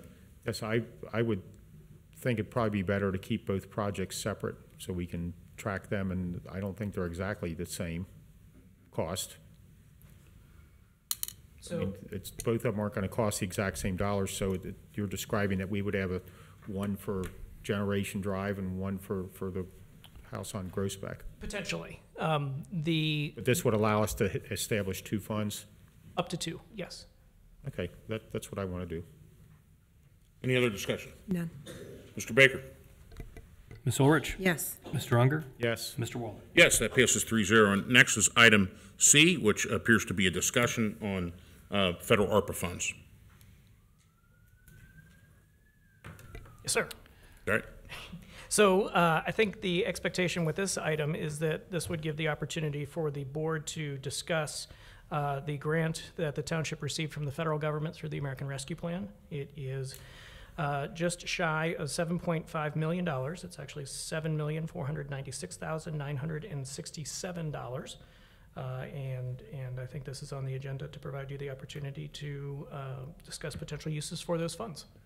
And and really the goal from administration is we're in sort of the end phase of developing the budget, the temporary appropriations for next year. And so to the extent that we're looking to utilize ARPA dollars in the following calendar year, it would be beneficial for us to have the direction from you all tonight so that we can start to plan those into budgets. Um, we are not obligated to spend all these dollars until 2026. Is that correct? Uh, it need- 24. They need to be obligated by the end of '24 and out the door by the end of '26. Okay. Uh, Any discussion? Well, you started it um, with the, the police and fire. Don't give me that look. Um, being our, it- listening from the residents' survey, and um, what we've discussed is the safety of Colerain Township. And if we can appropriate some of these funds and to keep down a bond, uh, lowering a bond issue for our police and fire, so it helps our citizens not have to pay so much taxes. That's why I am, and put some of the money in the general fund. So So one of our citizens came in during citizen comment um, uh, um, last two meetings ago and mentioned uh, they had moved from Green Township and, and talked about their taxes. Um, to which point, you know, taxes. Um, it's it's odd when, when you have it in, your in your mortgage and and you know you just don't get a breakdown on it. And I took a look and compared us to to you know the same value of house in Green Township, uh, and my gosh, the same value of house in Indiana. Um, and the taxes are so much significantly different um, uh, that it's it's kind of scary. So you know, my my belief and hope is that every every dime of that money that we could put towards deferring any kind of any kind of tax levies would be significant and important. Um, uh, you know, especially given you know given what's going on economically and the idea that uh, um, I, I think that, that that we're heading towards a way of reimagining how we're how we're going to deliver these um, deliverables from police, fire, and, and and and public works, and you know that needs to be our focus, and we need to focus on reducing reducing taxes, um, and and that would be my suggestion. Although seven point five million dollars is a lot of money, it could get split up in several different ways, and and you know I'm always open to any kind of ideas and suggestions, but I, I don't want to go to the voters with an outsized levy. To, to clarify, in case any of our friends from the federal government are watching, uh, these dollars cannot be used to, to reduce existing taxes. What we are discussing is Right. using the For dollars as future revenue bond- right. replacement so that when we do have a need for tax increases in the future, it is not as significant. Right. And you told me that if the feds had a problem with that, they could come get you. Oh, Well, they can find me, I guess, if nothing else, so. No, yeah, that, that was the point I was trying to make, uh, so in artistically, um, is, is, you know, I don't wanna go to, I don't wanna go to taxpayers with a big number. Um, I I mean, we're already paying a big number. So uh, the discussion with, um, I had a discussion with Chief Cordy some time back, and he has uh, told me that, what are we, in year eight of a levy that passed in 2012? That was to last five years? 2014. 2014, so, and um, you had indicated there would be a need for a levy next year. And I, at the time that we discussed it, I said, that's fine, you have to pay people, I get that. Um, The, uh, it'd be nice to take some of this and, and use that to offset that levy to lower the cost of it. I would still drop back to my position that, that one-time funds can, can do that, but, but we're setting up the, what's this, 2023, would, we would run that levy? By 2028, when that levy expired, it would have to be dramatically higher, because we'd be using one-time money to offset this, well, that one-time money's not gonna come rolling in in, in 2028, and if there's 7.5 million dollars, and it sounds like we all three have, a- have an idea for a third of it, I would, I would say, um, one thing you can do with one-time money, and, you know, the firehouse thing has happened, and, and we voted on that and, and settled it, and we're moving forward, I would suggest taking a third of that and, and putting it into our road program. We are ten to fifteen years behind on some of these streets, and if we could go ahead and, what do we have, one point nine million in the budget, something in there for the streets next year? 1.9 million, yep. If we could, then that's for the, and I have no, I have no say over what streets are getting done. That's something our Public Works comes up with. If we could take the 2023 and the 2024 program and do them both in 23, that would be the, the first step in getting some of our, our streets upgraded, and some of them are in pretty bad condition. And that's a great economic development when you can improve a whole street. It, it, you know, makes the houses more marketable. Nobody wants to you know, live on a street that's all cratered out and, and, you know, we've got some pretty serious needs there. So, so my idea would be, you know, let's put a third of it in our most basic function before, you know, when the trustee form of government was created in Ohio was to maintain a system of roads. And that was the first thing, because at the time, there was a county sheriff that took care of everything else, and I would like to throw a third of it into the road program, and I know when I discussed this with you, you were concerned that would, would a vendor be able to get that extra work done in one season? Well, if our program was a little bit bigger, I, I'm telling you, we would get moved to the top of the list. It's, we're running a small program, and tho- those vendors will take on the Cincinnatis and the, the other places that are spending a little more money first and, and save the smaller budget places for us. So my recommendation would be to put a third of it in the, um, in the, uh, road program. It's a one-time pot of money and let's do something with it that, that would impact a lot of neighborhoods that are in desperate need of street repairs. And Not, you know, that- I don't know anybody that lives on those, I don't have any relatives that live on those streets. You've picked out the streets, your team at Public Works has. I would just like to do the twenty-four and twenty-three road program in twenty-three and do them both. And then see where we're at after that. All right, so we've heard from all three trustees um, with some differing ideas. What's your next? What's the next? So my goal would be to get some form of consensus from the majority of the board. So, um, you know, in terms of proposals and what we can do with the dollars, there are certainly some needs in fire and police. There are needs in roads. These are all valid uh, areas where we could look to put dollars. Um, you know, one strategy is to, again, and this is another one to throw out there, is to try to get dollars into the general fund, and then you don't have to make a decision today. You can make a decision at a later time. Um, but my goal would be to try to get some consensus from you all. I don't know to what extent at this point in time the goal of the board is to maybe put all of it into uh, police and fire? Is the goal to put a piece of it into roads? Is the goal to do all three things that have kind of been said, or even a fourth thing, including the general fund? And so I, I guess I'm just looking for more feedback from you all as a group. E- e- Well, this is the first time the three of us have had a chance to discuss it. As I often mention, we don't get to talk to each other outside of meetings. and I don't, Exactly, yes. I don't know if you figured I might bring something forward with the streets or not, but, I mean, we need to get going on our street program. It's our most basic historical core function here.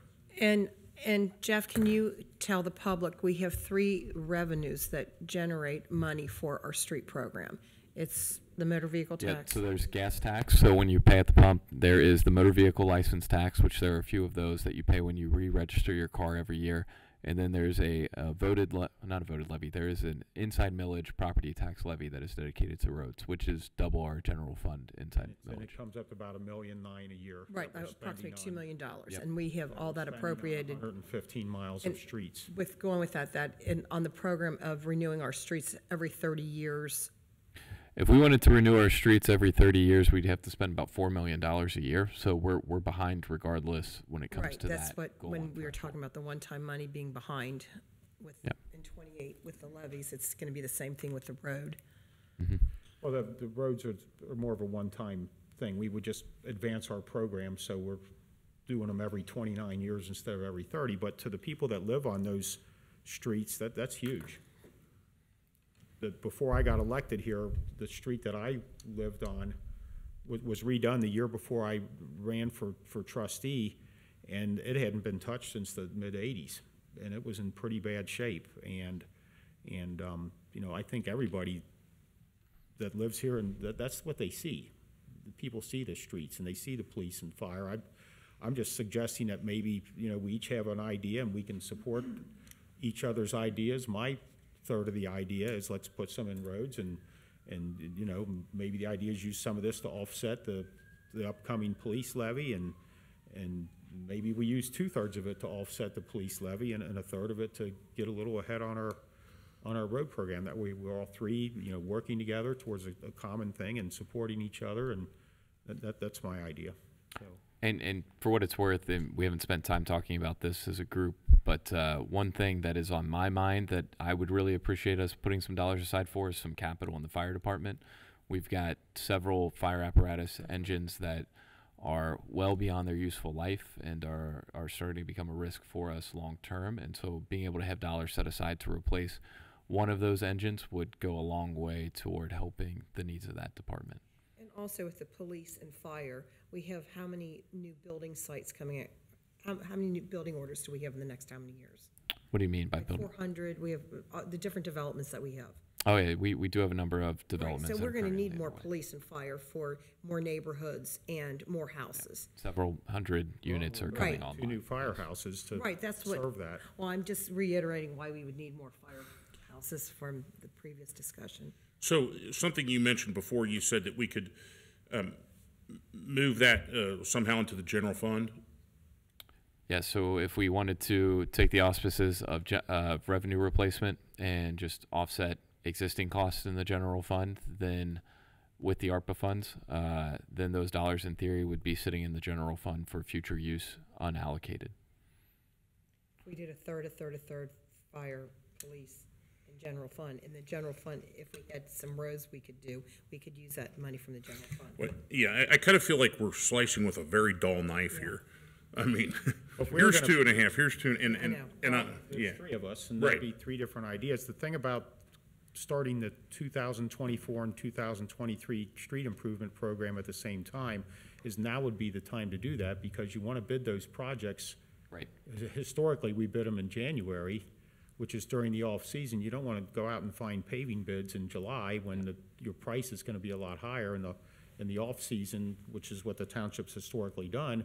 That's when you go out and get prices for, for roads, and that way the vendors can plan and, and, you know, make sure they don't overbook themselves, because if you, if, when I was selling asphalt for all those years, I, I pretty much had us booked out by the end of April. Yep. For, for years, and, you know, people call in August, and course the price is gonna be higher. We're busy as anything, and we don't have time to get to you, so if we were gonna do something with the roads, I would, you know, we need to get that, and we can, I'm I'm glad we're having this discussion, but maybe on the November fifteenth agenda, we put something on there as a result of this discussion, so we can, if these guys wanna support me on that, that's fine, and if they don't, that's fine too, but maybe we make that decision by November fifteenth, so that we can put it out to bid, uh, you know, over the winter. Yeah, and so I guess, you know, part of the reason that I'm asking for direction is in terms of finalizing the budget for our formal budget presentation of the budget book November fifteenth.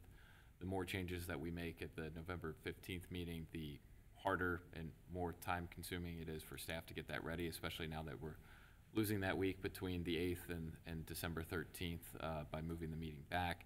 The other thing that's difficult too, and, and the, the road question is a very valid question, because after this meeting, we're gonna be tasking our Public Services Department with developing those road specs, and so, um, if we are looking to add more streets in the next year, uh, they'll, they'll need the time in order to get that ready, so we can go Sure, out to bid. so it gets out to bid on So time. That, that may seem why I'm pushing a little more than in To make a decision? To get at least more feedback from you all about, you know, where, where we think we would like to go, um, with these dollars. Is there some increase we could make on, in the road budget that would, you know, that way we could all three support what each other's thinking? Because I want to, it's a one-time capital thing, and people will come down the road and say, what did you do with that money? I can say, well, we, we picked up an extra eleven streets that year, you know, but beyond our, our normal program. I, I think what you're getting at is an important part of this entire ARPA fund, um, and to steal the Dave Ramsey quote, um, if you listen to him, um, I want to spend it with, uh, intentionally spend it so that we don't wake up and, uh, what do we get for the seven and a half million? Um, I just am tied to this idea of, of, you know, what a, what a, um, what a potential police levy would look like in, in just the, uh, the tax burden we're asking our citizens to, to bear. And in addition, if, you know, we had somebody speak on a couple other levies, um, what that would add to it as well. Uh, you know, I, I don't know that, I don't know there's a right or wrong answer with it. I, I guess, um, I, just, just to be kind of, boom, how are we gonna spend seven and a half million?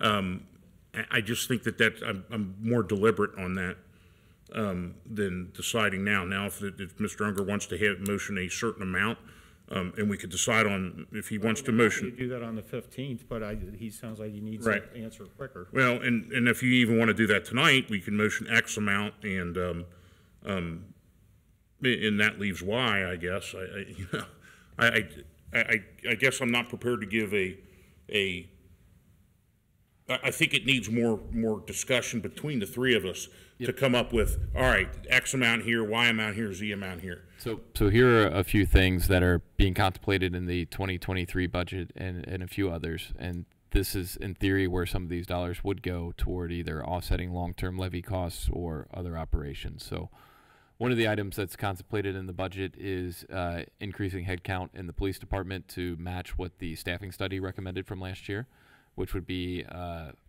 taking our impact unit from five officers to 10. So that would be one uh, significant dollar amount where these dollars would be spent.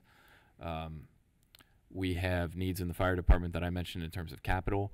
There are also some other needs that, that we've been evaluating in terms of our delivery model. And, you know, is it a full time department, a full time, part time department?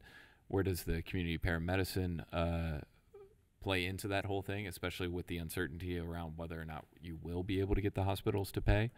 Um, roads are an important factor. And then, you know, certainly any dollars that you wanted to set aside for development or redevelopment or other things to consider as well. Um, so those are just some items to, to I guess, some fat to chew on as we kind of contemplate things moving forward. You know, I'm happy to continue to, to talk with you all offline, and I can bring forward a recommendation at, on the 15th that is part of the budget. It's just it, it's gonna when we do make this move, whatever this move is in next year, um, there's going to be a, a sizable amount of work that finance is going to have to do to make this happen, uh, to to meet the the needs of the revenue replacement under the ARPA funds. Um, and there will be lots of additional audits that they'll have uh, related to all this. That's why I, I totally understand what you all are saying, and, and I think the discussion is important. And the more discussion, the better for me. So. Would you, would you consider, because he's gonna present a budget, what he's looking to do is present a budget November fifteenth.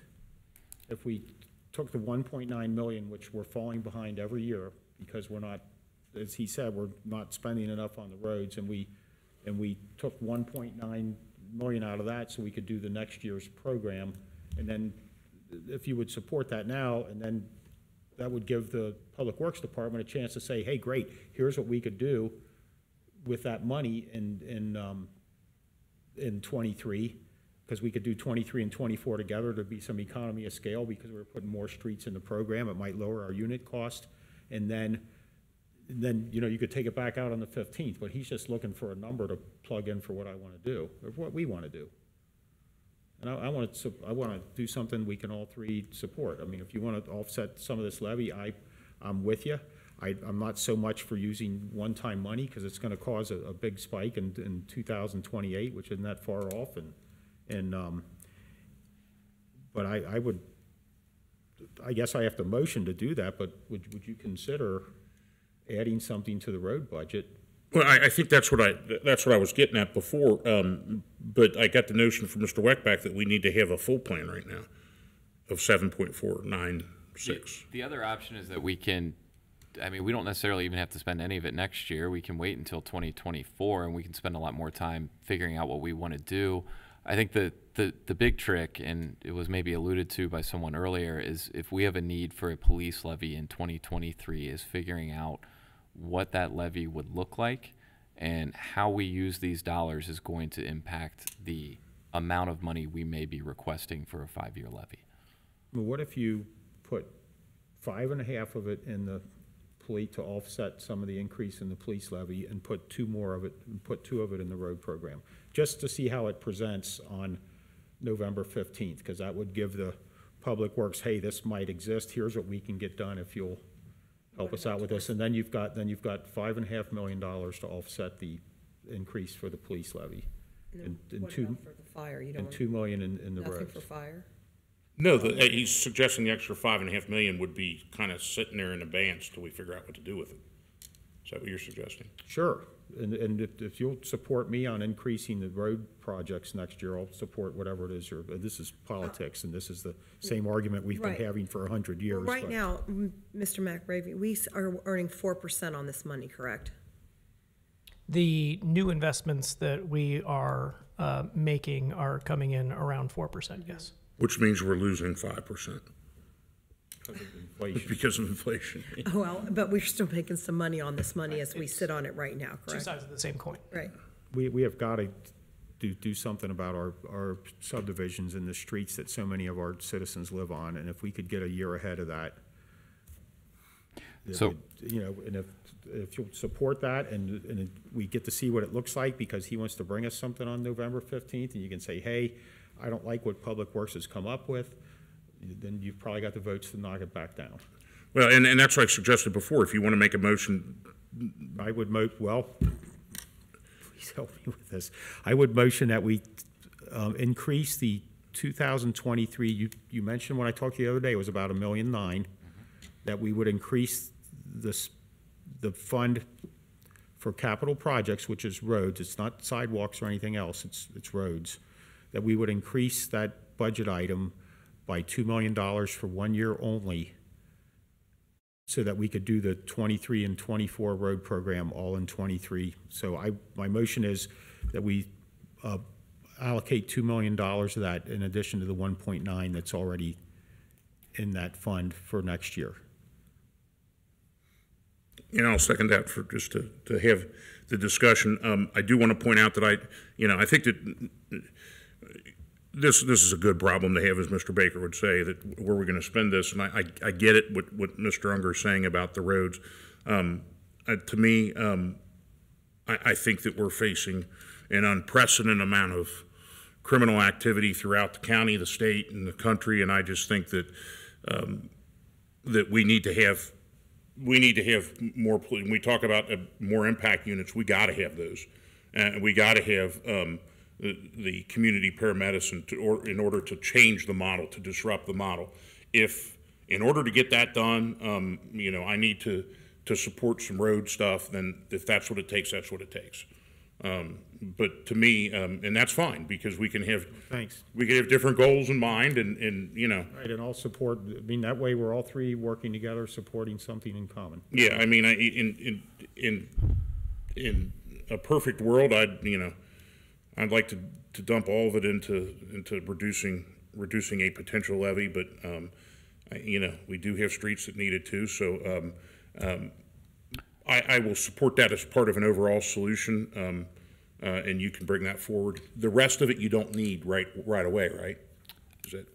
I mean, when it comes to the police levy, we will need to know if we're putting dollars into that We can fund start working that over the next thirty days, is that? and, and figuring out the, the dollar figure. Um, we could probably figure that out over the next 30 days. Yes, what, what the potential split would be between police and fire. Yes. and the capital needs for fire, the, the, the, the impact units for police and, and uh, community paramedicine. Yeah, I believe a million dollars is a, a very good number when it comes to the capital needs for fire. The the other items are flexible. Support me on this, and you- then I'm with you. Chief, are you good with that back there? Both you chiefs?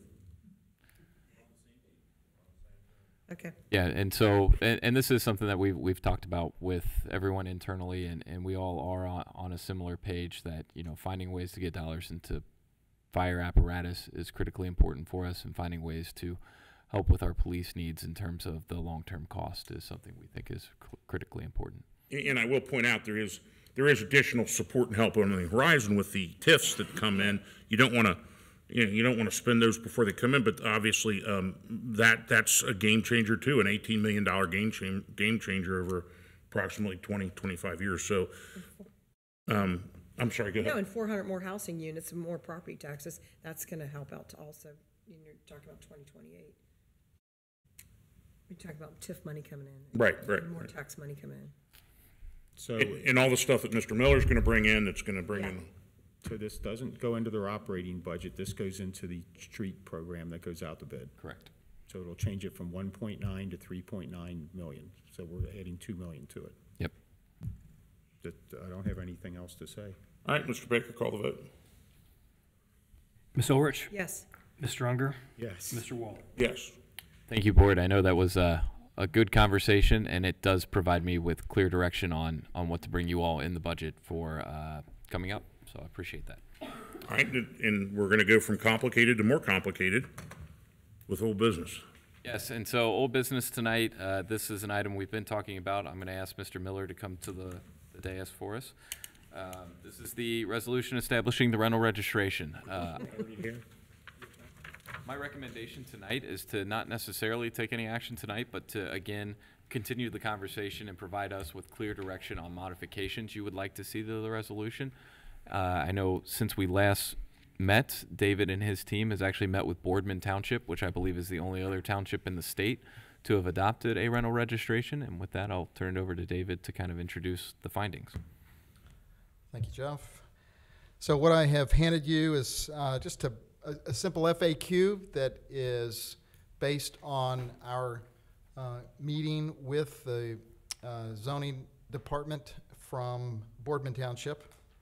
And they have, uh, they, they passed their rental registration program in 2014, and it was uh, litigated and went through the court system in 2017. The Seventh District Court of Appeals upheld the law, and then the Ohio Supreme Court denied uh, the appeal and jurisdiction and allowed the law to go into effect. Okay, so uh, what I, I thought, just kind of a high level for you, I put some numbers down here, some key numbers. Boardman says the program has approximately 1,500 rental units that are registered.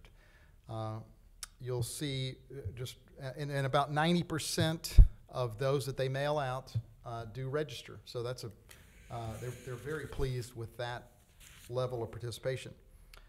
Uh, When you compare Boardman to Colerain Township, in, uh, so the Hamilton County Auditor uh, publishes their voluntary list of rental registrations on a quarterly basis. So what we have here is April, June, and October.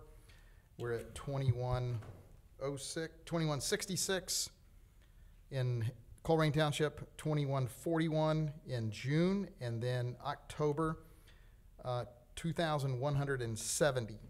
Uh, Those are just the voluntary registrations. Uh, We believe it'll be at least twice that At least, for yes. Colerain Township.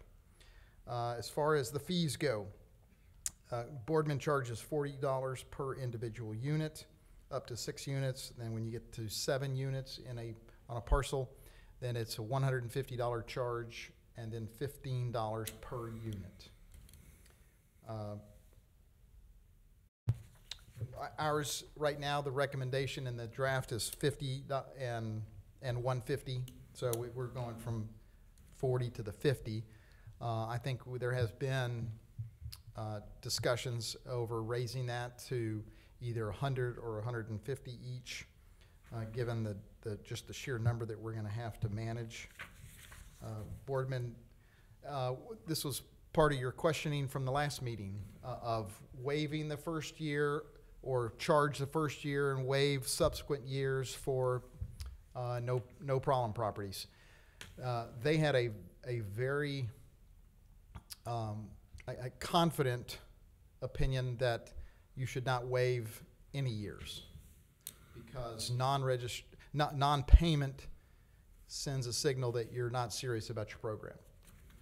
And so, uh, it, it's a nominal fee, and, so they felt like, uh, it was, uh, worth being charged, uh, every year. Uh, on the backside, their revenue, they are currently, uh, getting approximately hundred and sixty thousand dollars per year, uh, from their program on their registrations.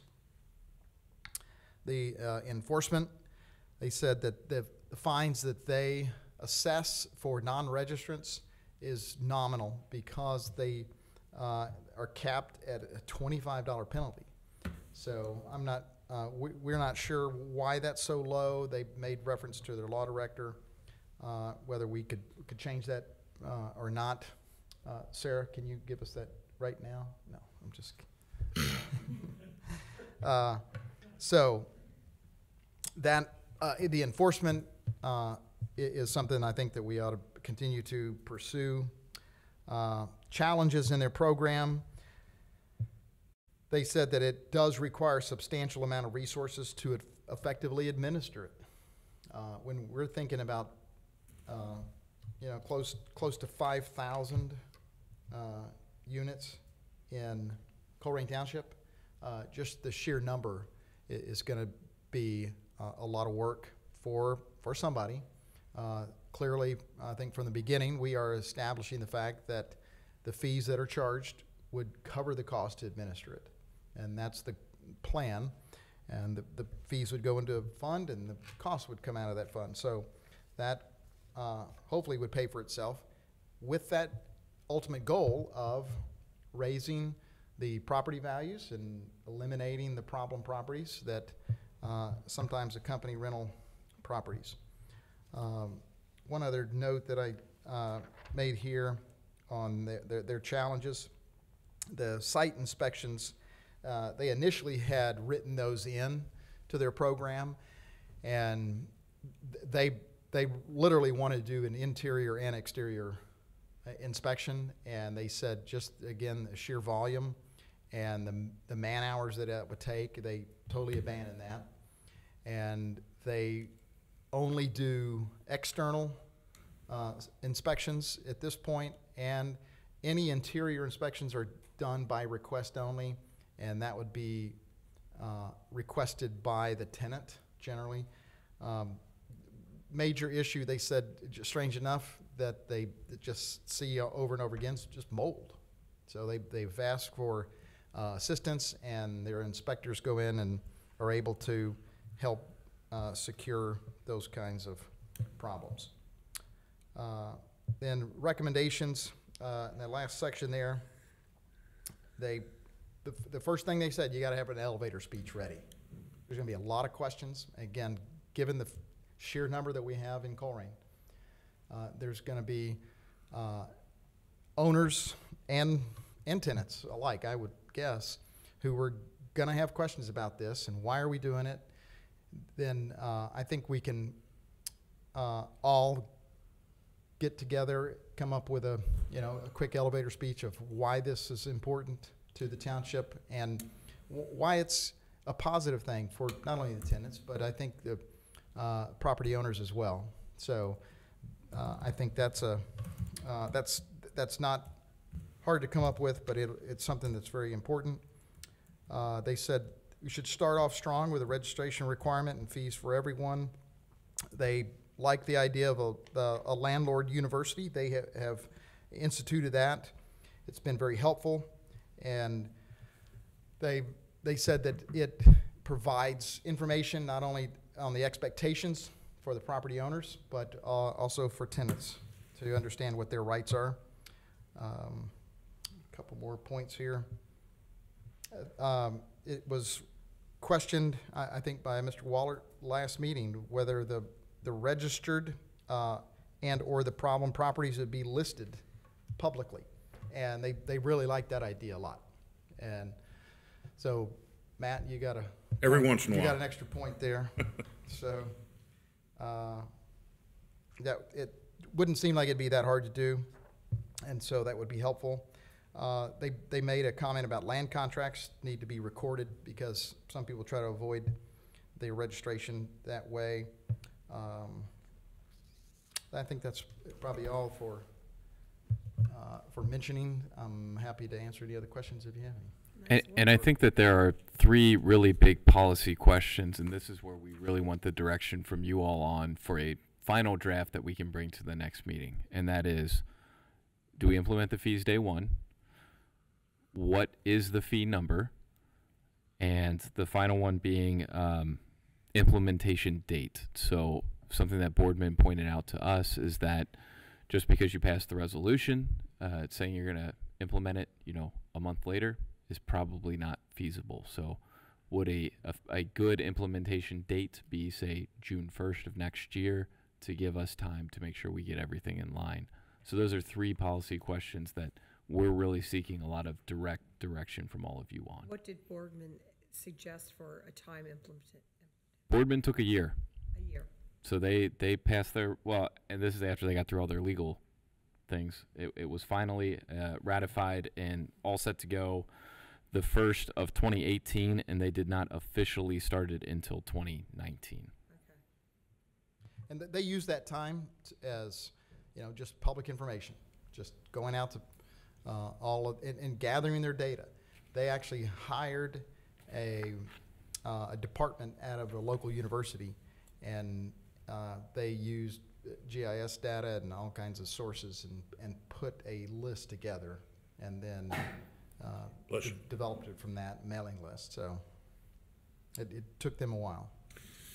So there's a couple things going on here um, that I, so a lot of times people, "Oh, why government's so slow? I mean, we need to get this right because if we swing and miss, uh, we don't get a second swing, uh, I, I think. And that, and that's why I think that this, uh, uh, this memo is, is so valuable in that.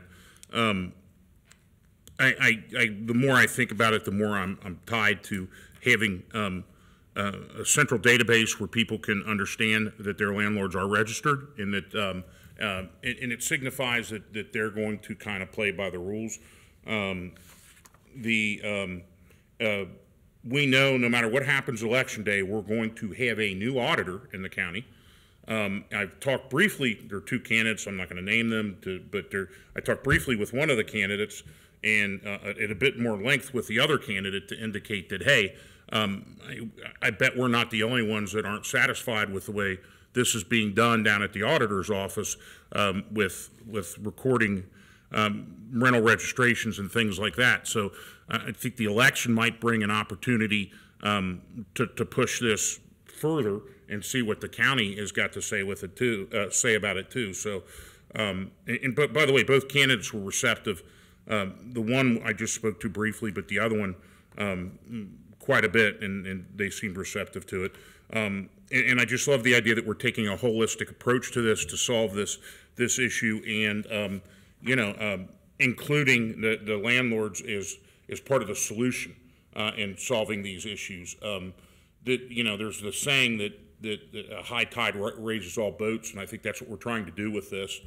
Um, as far as the three questions Mr. Weckbach asked, and and you know, I I was quite um, um, taken back by Mr. Uh, Unger's uh, let's have the first year free because I thought it would bring more registrations.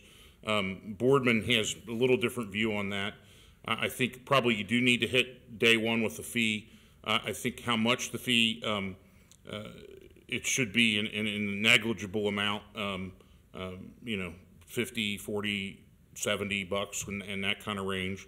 Um, in the implementation date, I think that it needs to, uh, June 1st is probably a good idea because it needs to have, it can't have a rolling start, it needs to have a strong start, uh, and it needs to be a successful start. Um, and, and I think it's going to take um, really all hands to kind of figure this out. Now, despite the complexities of this, I think that the, the end product on something like this is going to be is going to be a fantastic uh, um, development for the township. I think it's going to be a great asset to have this, um, but we have to stay on top of it, and uh, and, and I look forward to, to, to sharing some of these ideas offline with Mr. Weckbach, and um, you know I think I- I'm, I'm happy about all this, and thank you. You guys have done such a, a, a great deal of work on this. That I'm, I'm just really pleased, and um, I, I would think that Boardman is probably a lot more complicated than Colerain, uh, Youngstown, um, even though they have less rentals. Now, the only thing I understand that's different about uh, um, us versus Boardman is that they don't have any of the big actors. And that's going to be when the when the metal meets the road. When we have big actors that have 1,500 units, are, are they going to want to um, are they going to want to play ball? And it feel uh, the fact that the Seventh District Court of Appeals said we're fine with this makes me feel a whole heck of a lot better. Um, and their compliance numbers are fantastic. 90 percent. I mean, you know, I, when Mr. Unger said 25 percent last week, I'm like, oh, that'd be great. I mean, that's I, I couldn't imagine that in a million years, and, and they've got it so tightened up that they're getting that 90 percent. So I will allow my fellow trustees to kind of wax poetic about uh, rental registration now that I've completed. Um, well, and it says right here in the program analysis that Colerain, about half of ours are registered. I get, um, just like the other trustees, I get calls too, and I'll, I'll give you a great example of one. We had a, uh police run to one of our neighborhoods last week, and one of the neighbors called and said, "Hey, what is going on down the street?" And when she told me the address, I looked up the address, and it was listed as a owner-occupied house, which provides a there's an owner occupancy credit, and anybody can look up their house on the auditor's site. And this house is, or this property is getting a $129 a year owner occupancy credit, when clearly the owner does not occupy that house because it's listed as a LLC and they had not filed. And I've, you know, we, we talk about tax levies and that, and I've often asked the question, are we getting hundred percent collection on our levies? And we are not, because there's just a number of people that don't want to play by the rules, or when, when you have a rental property, or if you have a question about a property, look it up. It says very clearly on the summary page if somebody's taking the owner occupancy credit. If you look up my house, it shows I get that credit. I think it's about hundred and eighty dollars a year, but that's because I live in the house. I've never gone to revision or anything. I pay the taxes that are levied just like anybody else. But this particular property, and this is not an indictment of renters. My kids live out of town and they rent too, and hopefully you're watching. But, but, um, ninety-nine percent of people are good, just like ninety-nine percent of homeowners, you know, don't give us any trouble. It's just, what brings us to the forefront is, is we just have a problem with some absentee landlords that don't take care of their, their property. And, and I think what we're trying to do here is just sort of get it under control so we have somebody that we can call and, and hopefully make corrections. And we're not looking to be punitive. We're, we're looking to be a, a better place to live where properties are maintained. And if you're gonna have as part of your investment portfolio rental properties, you just need to maintain them and, and, you know, it's, it's, uh, I don't so much have any problem with the program. I guess we would need to decide when it would start and, and what the fee would be. But there's a reason to have it, and it's because we just have, like the example I just gave, where we've got tenants living in a house that we think the owner lives there, and the owner obviously doesn't care enough to file properly, and, um, and we're making a police run out there. So we just need to get some of these absentee landlords under control. And I, I believe this statistic, I think when I first got here, we ran the list of owner occupancies against registered voters, and I want to say there were six hundred and thirty some, where it just popped right up that these people obviously don't live in these houses that they're claiming the credit. When you take six hundred people times hundred and twenty-nine dollars, what is that, ninety, seventy-two, seventy-three thousand dollars in revenue that the rest of us are subsidizing because those people choose not to pay it. So, um, if everybody paid the taxes that they owed and, and filed things correctly, then the need for these levies wouldn't be so great. But I just would contend we're, we're never gonna have hundred percent collection on the taxes levied because some people don't wanna play by the rules on it. And I've always paid mine, and I'm sure Matt and Kathy have always paid theirs. I'm hundred percent for the program. I would like the fifty dollars a year and to implement it. If it's June first is the date, I think that's the date we should go with. I think good work, David. Okay, I, I'm going to, at this point, motion to table this until next meeting. Um, I, I- is there a call for action on our part? There is not. And Okay. just as a, a quick thank you to the staff, we've got a lot of folks that have had some hands in this, but Jared Alec has really put a lot of effort into this and has really been driving the bus on it. And So, Jamie, and yes, Jamie Penley from the Yes, police yes. department, Scott and Sarah both from Right. legal. So, Right. a lot of lot of great work into this. So, uh, so I guess I want to make it very clear here before we end the discussion on this, for those sitting out there thinking, oh gosh, it's, it's being put off again. Um, y- you don't get two swings at this, and we want to make sure that we're, we're go- going to, we want to make sure that we accomplish what we want to accomplish with this and that it has teeth. So that said, um, what are we doing? Last items on the agenda are the consent agenda. Consent, consent items, yes. So you have, uh, six consent items. Yes, Sure. to read those in. So the first item is a contract that I executed with Spring. sorry. Do you need to vote? No, no, that, that was no action. no action. Did you wanna Motion to take, did you table. say table it, or? think I it's asked if we needed to table it and, and, um, No, we don't have to. yeah, just- It's just a discussion item. right. Yep, we got it. Um, so we have, uh, six consent items. Yes. So, uh, first item on consent agenda is a contract that I signed with Spring Grove Cemetery for an indigent burial in the amount of seven hundred ninety-five dollars. The next items are all new hires. The first being a management analyst, uh, an individual named Caleb Peterson, at a rate of twenty-one dollars and sixty-four cents per hour. Then we have a firefighter at uh, Mr. Gavin Shannon at a rate of eighteen dollars and twenty cents per hour a police o- or a code enforcement officer in the police department, a Mr. Stanley Schmale, at twenty-three dollars and eight cents per hour, a code enforcement specialist in the police department, Nick Hopewell, at fifteen dollars per hour, and a cadet in the police department, Mr. Zach Getz, at fifteen dollars an hour. And something to note about Mr. Getz is that when he passes his uh, OPOTA test and becomes a certified police officer. The assumption with this motion is that he will be promoted to the rank of police officer at a rate of $30.29 per hour. And I would recommend approval of the consent agenda. I motion we approve the consent agenda as described by um, Administrator Weckbach. I second. All right, any discussion? None. None. All right, uh, we'll call for the vote. Ms. Ulrich? Yes. Mr. Unger? Yes. Mr. Wahlert? Yes, those items A through F is provided in your packet, passed 3-0. Um, Mr. Baker, would you like to provide us with a fiscal report? I don't have a report, uh, Board, but I did want to just um, mention um, how hard we're working on public records requests. On October the 17th, we received 17 public records requests alone from, from one person, and uh, those records requests were fulfilled within three days. So, um, and I, I mention this quite often, but um, that's that's a number that we received in one day from one person. That's more than um, Green Township gets in a year. So that's how hard we're we're keeping up with public records. Thank you for uh, continuing Thank to you. meet that challenge, Jeff. Very right. challenging. Need for an executive session? I do not believe there's a need. Is there a motion? I would motion that we would adjourn the meeting at 9:18 PM. I would second that. All right, uh, Mr. Baker, please call the roll on that. Ms. Orch? Yes. Mr. Unger? Yes. Mr. Wahlert? Yes, adjourned at 9:18.